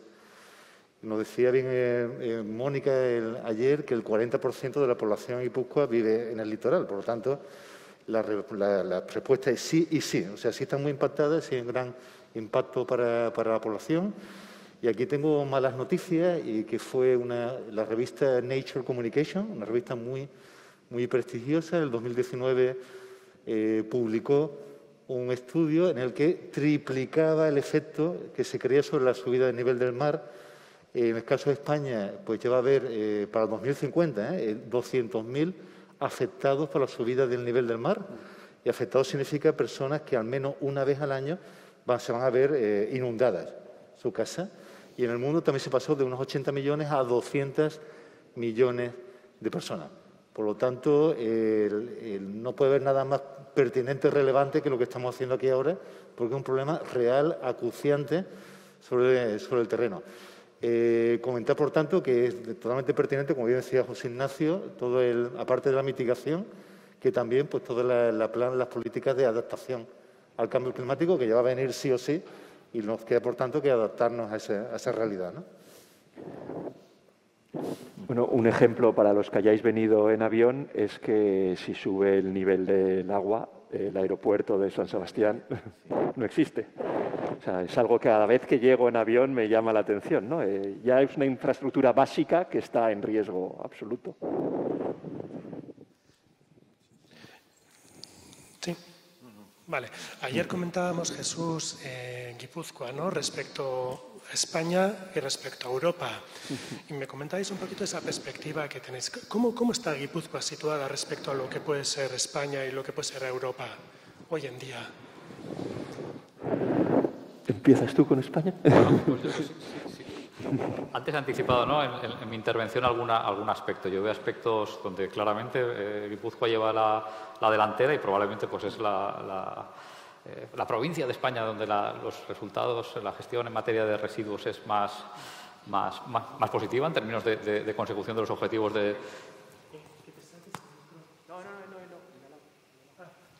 Ah, Jesús. Eh, decía, en, materia de, residuos, por ejemplo, objetivos de reciclaje, preparación para la reutilización, es claramente un, ejemplo eh, y, en ese sentido, pues, pues muy exportable. Puede haber otros aspectos donde, donde hay más, más margen de mejora y por citar otro ejemplo, pues por ejemplo, en materia de, generación eléctrica verde, ¿no? Eh, pues, eh, a pesar de que se están haciendo muchos esfuerzos eh, para, para, potenciar autoconsumo, comunidades energéticas y, demás, pero probablemente necesitamos, necesitamos más. Yo lo que, lo que sí que creo es que, que bueno, pues es, es las políticas son, avanzadas y, ambiciosas y, vinculándolo un poco con... Mm, digamos, cómo encaja Guipúzcoa en el, contexto del Estado y haciendo un poco el paralelismo a lo que ocurre en la Unión Europea, yo lo que echo de menos a veces, eh, desde, desde, desde, el ámbito subnacional, eh, es que traten de influir de manera más positiva en la agenda nacional. Eh, nosotros, por ejemplo, en, la Unión Europea sí que vemos a veces cuando tenemos debates en el, Consejo que algunos países que comparten un mayor nivel de ambición, unos países like-minded, como se suele decir, ¿no? que con una misma idea eh, comparten posiciones y tratan de impulsar esa agenda para, para hacerla más ambiciosa. Sin embargo, cuando, cuando, diseñamos políticas a nivel nacional, hay procesos, eh, procedimientos participativos con las comunidades autónomas eh, y demás, pero son más consultivos, bueno, se trasladan opiniones, pero no vemos una coalición de ambiciosos que nos impulsen a, y, sería muy bueno, quizá, que, a partir de esa experiencia positiva de las políticas que se desarrollan en Guipúzcoa, con otros territorios que también puedan compartir esa ambición, oye, no solamente digáis, mira, vamos a hacer las cosas bien, sino vamos a pedir que se hagan bien a nivel nacional, ¿no? Vamos a unirnos varios para impulsar las medidas a nivel nacional. Y comparado con... Sí, sí, no. perdón, sí, sí. Jesús, todo queda en casa. Eso, igual. no, muy rápidamente, una luz y una sombra. Eh, la luz, yo creo, economía circular, ¿verdad? A nivel incluso comparado con España y con Europa la sombra de eh, energías renovables. España 44% de generación eléctrica, y Guipúzcoa 8%, ¿no? Efectivamente. Pero ahí sí tengo que decir que me ha, gustado mucho el planteamiento de hacer un diseño para colonizar los tejados. Efectivamente, porque bueno, la energía solar es la energía mejor distribuida que existe, llega a casi todos los tejados y por tanto tenemos que aprovechar esta peculiaridad. ¿no? Perdón, Jesús, adelante. bueno, iba a decir un poco lo mismo, ¿no? Eh, en campos como la economía circular, pues evidentemente Guipúzcoa está más avanzado que, la media europea. En campos como renovables, menos, pero un poco también enlazando con lo que decías. Creo que luego eh, a nivel de políticas activas, que era una de las cosas que quería decir en mi presentación, ¿no? No se trata solo de tener estrategias, documentos farragosos, etcétera, con grandes objetivos, sino luego de implementarlo. Y yo creo que aquí se están haciendo muchas cosas en ese sentido. Entonces, en eso yo creo que es bastante ejemplar eh, Guipúzcoa. Uh, if I may just build on this, I think there's more to what's happening here than is in this room. Um, but I think that's also about the way in which it's being defined. So, for example, I would be looking, I look at Guipuzcoa and I think of, yes, massive issues with sea level rise, I think of industry, 70% of industry embedded in some of the most high emitting business ch value chains in the world. And these are really hard to change global automotive, global aviation, oil and gas, steel. I think about the fact that you have a huge footprint in forestry and bioeconomy and uh, biodiversity, and you're sitting on a continent whose temperature rise is already dramatic. So the movement of migration over uh, over from the hotlands up towards this area is going to be extreme, significant. How prepared are you for that? And I think about uh, the reality of how to tap into the very significant resources that are here. So, the excellence in food systems, or in, or in uh, gastronomy, or in food innovation, in agricultural, agroforestry, where is that in this conversation? Because it's part of this particular set of, of possibilities. Um, some of the, the questions that for me I think are really important to answer that are partly about what is being done in a policy perspective and are partly about readiness and capabilities and mindset. So, if you have to pivot very fast in industrial transformation, is there a precedent for that in this region? Yes, there is. So, how do you tap into that readiness around rapid pivots in industrial transformation and hook them into climate? Because climate, biodiversity, environmental protection should be constituting the number one focus of a strategic innovation for every single SME and industry in this area. So it feels like there are so many pieces of the puzzle very close together, not quite with that kind of harnessing of a direction and a force. And there are some contexts that might do it. Tomorrow will be published in the European Commission the Industry 5.0 uh, paper that will be published by the group that I'm a part of, the ESIR group and that is a call to arms for a complete reconceptualization of Europe's industrial strategy to focus primarily on sustainability, the humanization of business, and the harnessing of digital into sustainability and regenerative goals, and circularity and regenerative together, instead of having them as a twin but disconnected transition. So I think there are opportunities for this region to, to, to, make itself very visible as a lighthouse. But I would very much connect back to what I've heard in several different points. The story needs to be told. It isn't enough for it to be extraordinary, it needs to be told. And for that story then to mobilize the radical actors and the fast followers who start to say, we need to come and talk about collectives, because collectives seem to be capable of doing something that are very hard to produce elsewhere and at scale. Joaquín. Como ejemplares veo una cuestión general, la que hemos visto en este propio Congreso, que es la integración de la dimensión ambiental en el conjunto de la política de la provincia y de la política de la Diputación, aunque me falta saber qué pasa con la fiscalidad, porque si mal no me equivoco, las diputaciones vascas tienen capacidad fiscal y no he oído nada en ningún momento sobre que se esté orientando la, fiscalidad desde la perspectiva ambiental, ni ayer ni aquí. O sea, ese puede ser una laguna importante mmm, en esta dinámica general de integración de la dimensión ambiental en la, en la política de conjunto y también en el terreno general el alineamiento con los objetivos de desarrollo sostenible de Naciones Unidas. Y no lo digo porque yo venga de Naciones Unidas y soy especialmente sensible a, la cuestión de los ODS, con lo que me siento muy comprometido, sino porque eh, me parece que es una guía muy útil, una guía muy útil no solo para los responsables de medio ambiente, sino para todos los responsables políticos, ¿eh? el de hacer el alineamiento ¿eh? de sus políticas con los ODS. Y si además se acompaña de esta línea de indicadores bastante completa, aunque ya dije antes que no sé bien cómo está funcionando, pero el diseño eh, está bien armado. Entonces, eh, eso también es algo ejemplar. En ese sentido, tenéis cosas ejemplares a mejorar, pero cosas ejemplares a plantear. Sobre mmm, eh, cuestiones concretas, ya las dije antes, el de las comunidades energéticas y las cooperativas energéticas, pues claro, Guipúzcoa tiene una orografía y una eh, estructura geográfica determinada, eh, mucha población, en fin, que hace que igual otros proyectos de renovables no tengan la misma capacidad que en otros sitios. Y lo interesante no es hacer lo mismo en todas partes, sino hacer en cada lugar lo más apropiado.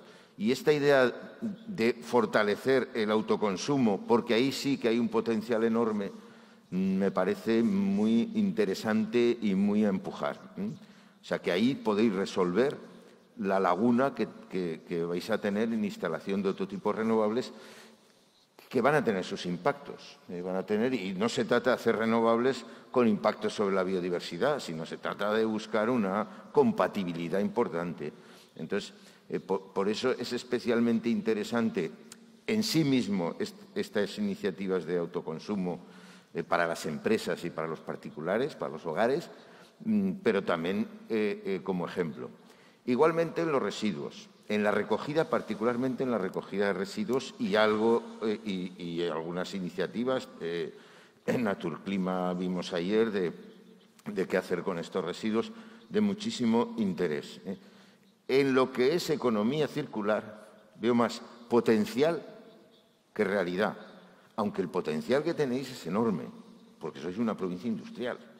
Y como provincia industrial, en fin, por vuestras características también, el potencial que tenéis en economía circular es enorme, pero es más un potencial. Lo mismo que tenéis un potencial enorme en hacer medidas de adaptación. no ya solo políticas generales de adaptación, sino medidas de adaptación, porque conocéis bien el, territorio, conocéis bien los impactos que está habiendo en el territorio y su evolución, y a partir de ahí sí que podéis instrumentar políticas de adaptación, que es también un potencial eh, muy importante. Eh, lo dejo aquí, pero sí que creo que sois ejemplo en cosas y que tenéis una potencialidad para ser ejemplo en muchísimas más, aunque hay algunas lagunas que habrá que completar. Sí, eh, al hilo de lo que dice Joaquín, eh, totalmente de acuerdo ¿no? eh, con el análisis y además una preocupación que tenemos en, esa línea. Por ir muy a lo concreto, que yo no voy a intervenir muy poco. En el tema de la fiscalidad, bueno, ayer lo pusimos de pasada, constituimos un grupo de trabajo en el tema de la fiscalidad verde junto con el, dentro de Torquisunar X tenemos un think tank dedicado a ello junto con el Departamento de Hacienda, evidentemente. ¿no? Sabes que tenemos, sí, tenemos, eh, tenemos mucho que decir en fiscalidad, pero bueno, no todos los impuestos son eh, transferidos o por lo menos eh, ya sabes que hay de regulación estatal, algunas tenemos capacidad de gestión, pero bueno, alguna, alguna cosa se está haciendo en ese tema, pero es verdad que tímidamente y tenemos que acelerar el tema de la fiscalidad. Totalmente de acuerdo y somos conscientes y, perfectamente explicado por ti. En cuanto a las eh, energías renovables, sí, nos pasa eso. De hecho, eh, se acaba de aprobar eh, dos, parques eólicos para Guipúzcoa, la zona de Escoriaza, limitando con, la provincia de Álava. Es verdad que el territorio no es especialmente favorable a la energía eólica por la orografía que tenemos. Pero es verdad que bueno, se están dando avances que ya te digo que hace cinco o diez años eran impensables seguramente, pero bueno, no es suficiente y también somos muy conscientes y por eso el, que por lo menos el consumo del hogar eh, le demos un impulso importante a través de las comunidades y cooperativas energéticas es importante. Ayer no nos dio tiempo a explicarlo, pero también lo queremos hacer con nuestros parques industriales. ¿eh? Los industrialdeas que llamamos en este territorio, eh, bueno, no lo, especificamos, pero lo mismo que estamos haciendo con las comunidades y cooperativas, se van a hacer tres experiencias piloto también a nivel industrial y bueno, veremos lo que, lo que da de sí. Y luego todo el tema del hidrógeno como combustible de sustitución a los combustibles fósiles, que eso evidentemente todos somos conscientes de que no es un cambio de la noche a la mañana, sino que seguramente nos llevará toda la década, ¿eh? nos llevará toda la década para que eso sea, eh, tenga una eficacia razonable. Pero bueno, el camino está iniciado. ¿eh? El camino está iniciado, pero plenamente, totalmente de acuerdo con el análisis que habéis hecho y Joaquín, totalmente de acuerdo con tu análisis. Somos conscientes, es lo único que te quería decir, pero me ha parecido acertadísima esa, foto ¿no? que ha sacado del, territorio. En economía circular, eh, yo quizás soy un poco más optimista que vosotros. ¿eh? Eh, está calando otra forma de hacer las cosas. Es verdad que eso no es perceptible de la noche a la mañana, es verdad pero la colaboración que estamos consiguiendo, sobre todo con los centros tecnológicos y la industria, ayer lo explicábamos, intentábamos explicar, nosotros tenemos una industria, quitando las grandes empresas, que todos, bueno, grandes empresas para nosotros, que a nivel internacional son medianas a lo sumo. Hablo de CAF, Irizar, eh, no sé, Orona, en fin, Indar, eh, que son las mayores del territorio. Para nosotros parecen grandes, pero son medianas a nivel europeo incluso. Pero tenemos un ecosistema industrial eh, más P que M, ¿eh? pequeña, pequeña. ¿eh?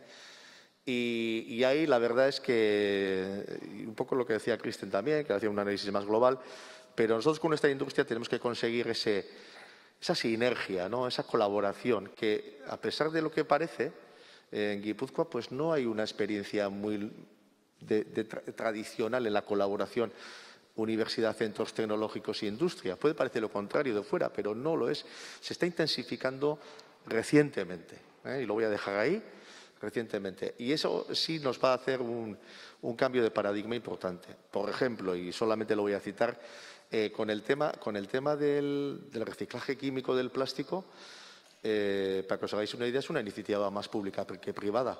Es verdad que la tecnología va a ser privada, pero es una iniciativa más pública del departamento porque somos conscientes de que tenemos un sector en ese ámbito, por ejemplo, muy potente, muy internacionalizado y muy competitivo, pero que desde Europa, con las tasas, los impuestos, etcétera, se pueden ver abocados a que dentro de una década no existan. Ha sido muy bien recibido, evidentemente, el polo y la colaboración que estamos teniendo en el sector es muy importante, pero es más iniciativa pública que privada. Entonces, quiero decir, eh, de acuerdo que las realidades, pero creo que los caminos están, eh, están cogiendo cierta solidez en la economía circular. Soy bastante optimista en sentido. Y el tema... Sí, sí, sí, no, el potencial te entendió. No, no, no te estoy... Estoy de acuerdo con todo lo que has dicho, ¿eh? quería decir. Y lo del tema de la energía es evidente que es un camino que hay que verlo, por desgracia, a medio y largo plazo. Hay que hacer un esfuerzo importante. el camino de la transformación yo creo que está iniciado, pero es verdad que estamos eh, un poquito más allá de la casilla de salida. Eso, hay que reconocerlo.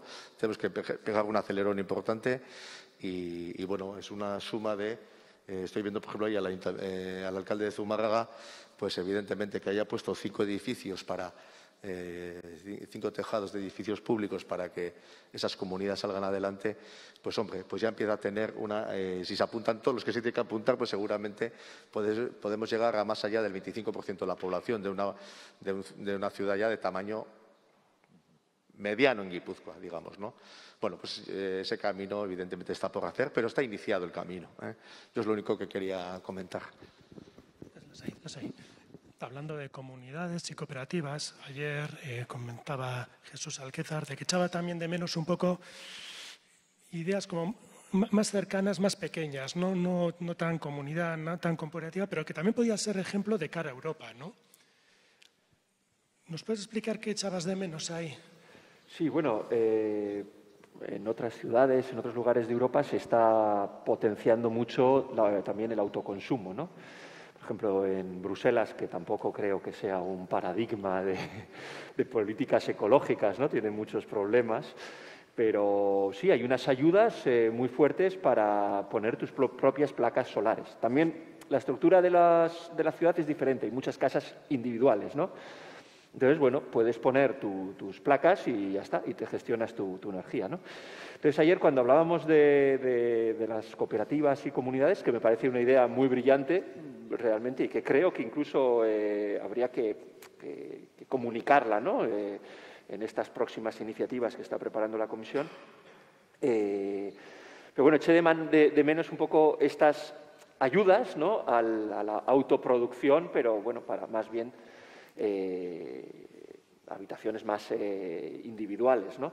Se puede hacer también en edificios de apartamentos. Lo que pasa es que la producción probablemente el tejado es pequeño para todos los que viven, o sea, puedes cubrir parte de los gastos, los gastos comunes, comunes etcétera, pero claro, no es un autoconsumo, digamos, al 100%. Pero bueno, creo que ahí quizás hay un potencial también. No sé lo que tenéis, seguramente hay cosas que, que no se han presentado aquí, ¿no? Quizá.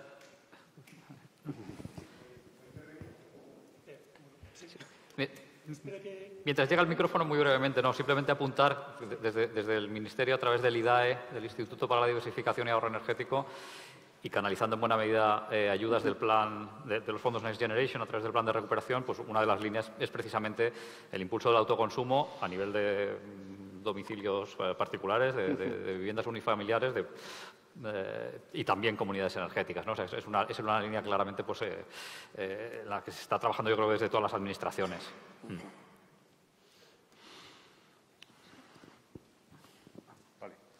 Sí, buenos días. O bueno, en primer lugar, soy Juancho Sabadier, presidente de una cooperativa de 600 personas aquí en Donosti, que tenemos un district heating desde hace 32 años. Fuimos pioneros en el Estado español. Nosotros producimos agua caliente y calefacción para el barrio de Veravera, aquí en Donosti, en las afueras de la ciudad. Eh, para mí este, este, congreso sobre la transición ecológica pues, ha sido una oportunidad muy importante el conectar con, la Diputación y bueno, además eh, he conectado tanto con José Ignacio como con Mónica que nos han abierto las puertas así de par en par y esa colaboración la vamos a, seguir manteniendo. Eh, nosotros eh, hace 32 años, eh, cuando ibas a comprar una vivienda en el barrio de Vera Vera, pues era muy llamativo que te enseñaba la constructora el piso y llegaba un momento que decías, oye, hay radiadores, ¿y, la caldera? ¿Dónde está la caldera de esta casa? Entonces automáticamente te decía, no, no, es que ese edificio que hay ahí, en esa parte del barrio, es una central térmica que alimenta todo el barrio. Para nosotros fue sorprendente ya en aquel momento.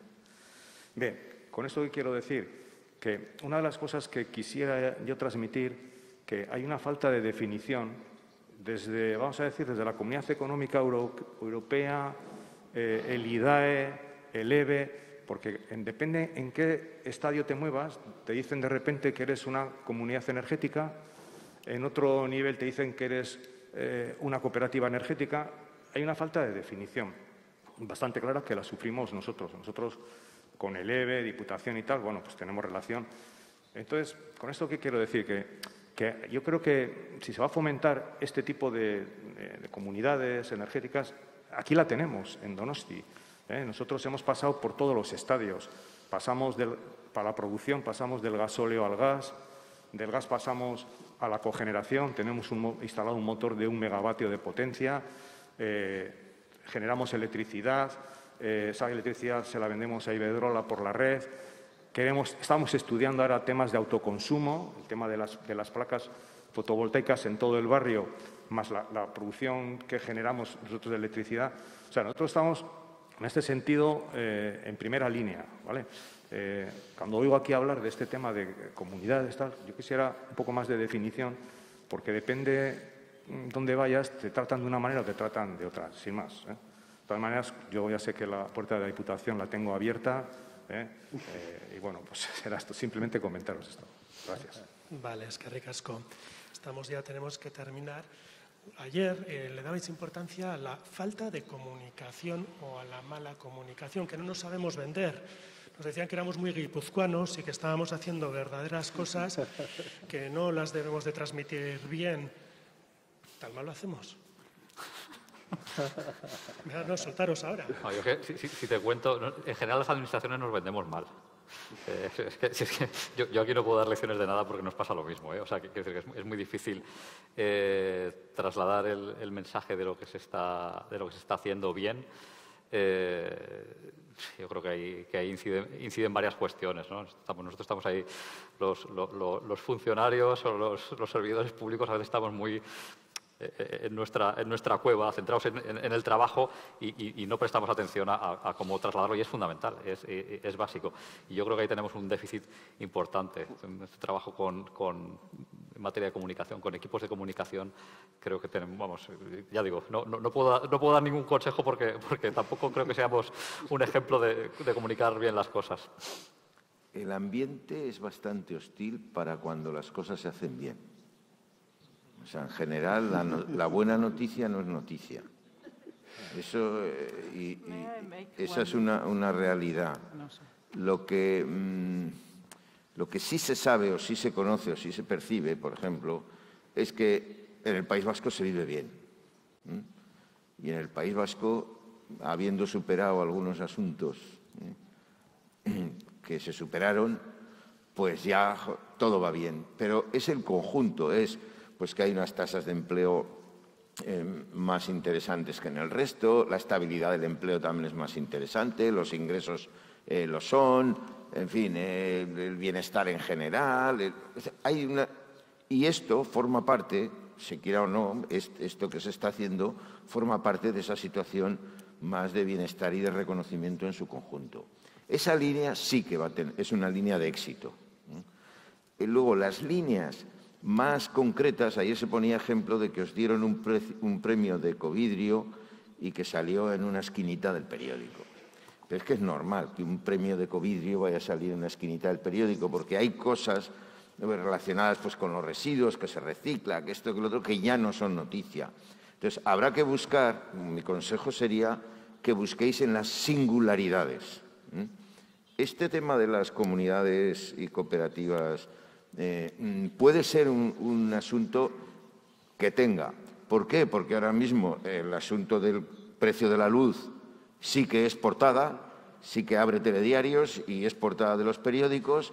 Esto significa las propuestas que hablasteis ayer de 2.000, 3.000 euros de instalación, de poder tener autoconsumo en una familia, pues, en un hogar, es muy interesante. Entonces, cosas así en el momento oportuno sí que podrían ser. Ahora, tendríais que estudiar cómo en ese momento oportuno aparecéis y dais el, campanazo. Pero hay que, también eso significa pues tener gente de, comunicación que esté al tanto, que esté al día, que sepa hacerlo con éxito, que, y buscar alguna polémica, porque si no hay polémica, no hay noticia. Ese es mi, mi consejo. Pero en principio lo importante es seguir avanzando, que la ciudadanía vuestra sí lo vea y sí se sienta comprometida y como se dice en mi pueblo, yo soy navarro, que el buen paño en el arca se vende.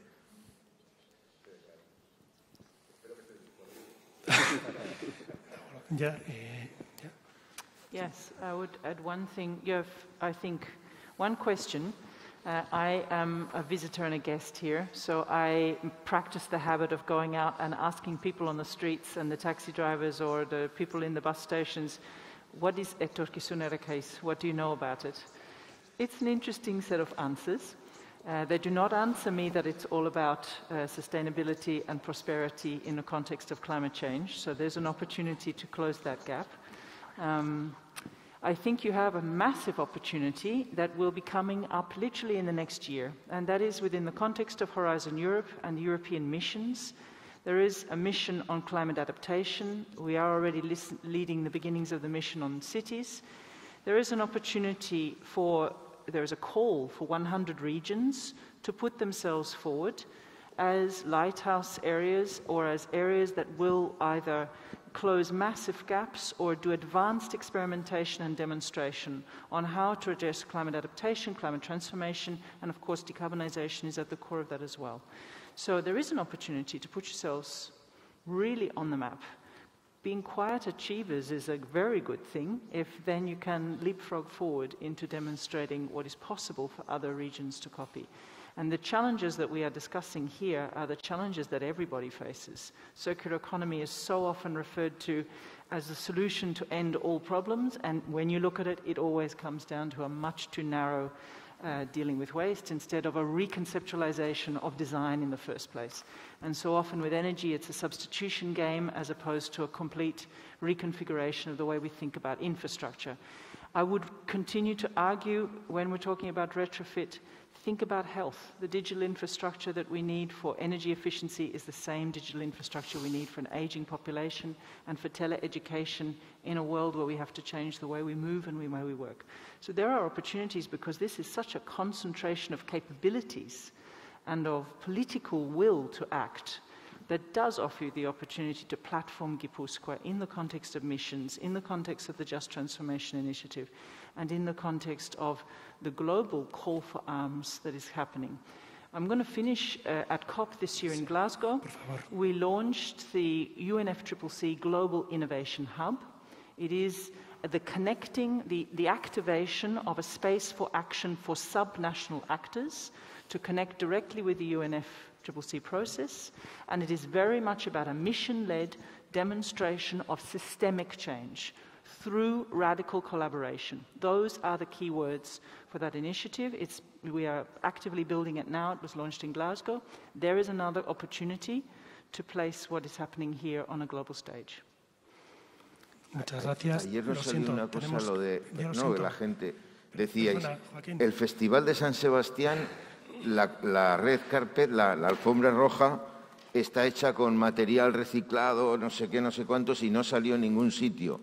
Y entonces decíamos, tal vez, igual si en vez de alfombra roja le hubierais puesto alfombra verde, habría hablado todo el mundo de ello. Hay que tratar de impactar. Ya lo intentamos. bueno. Sintiéndolo mucho y cortando así, porque nos están obligando, lo único que os voy a invitar a que subáis, vamos a quedarnos una foto, Mónica y Asensio, y damos por finalizada esta charla. Os pido, por favor, a todos los invitados que vayáis yendo al cubo grande. Hugo. Sí, a seguir el plenario que empieza dentro de siete minutos. Muchas gracias. Nada.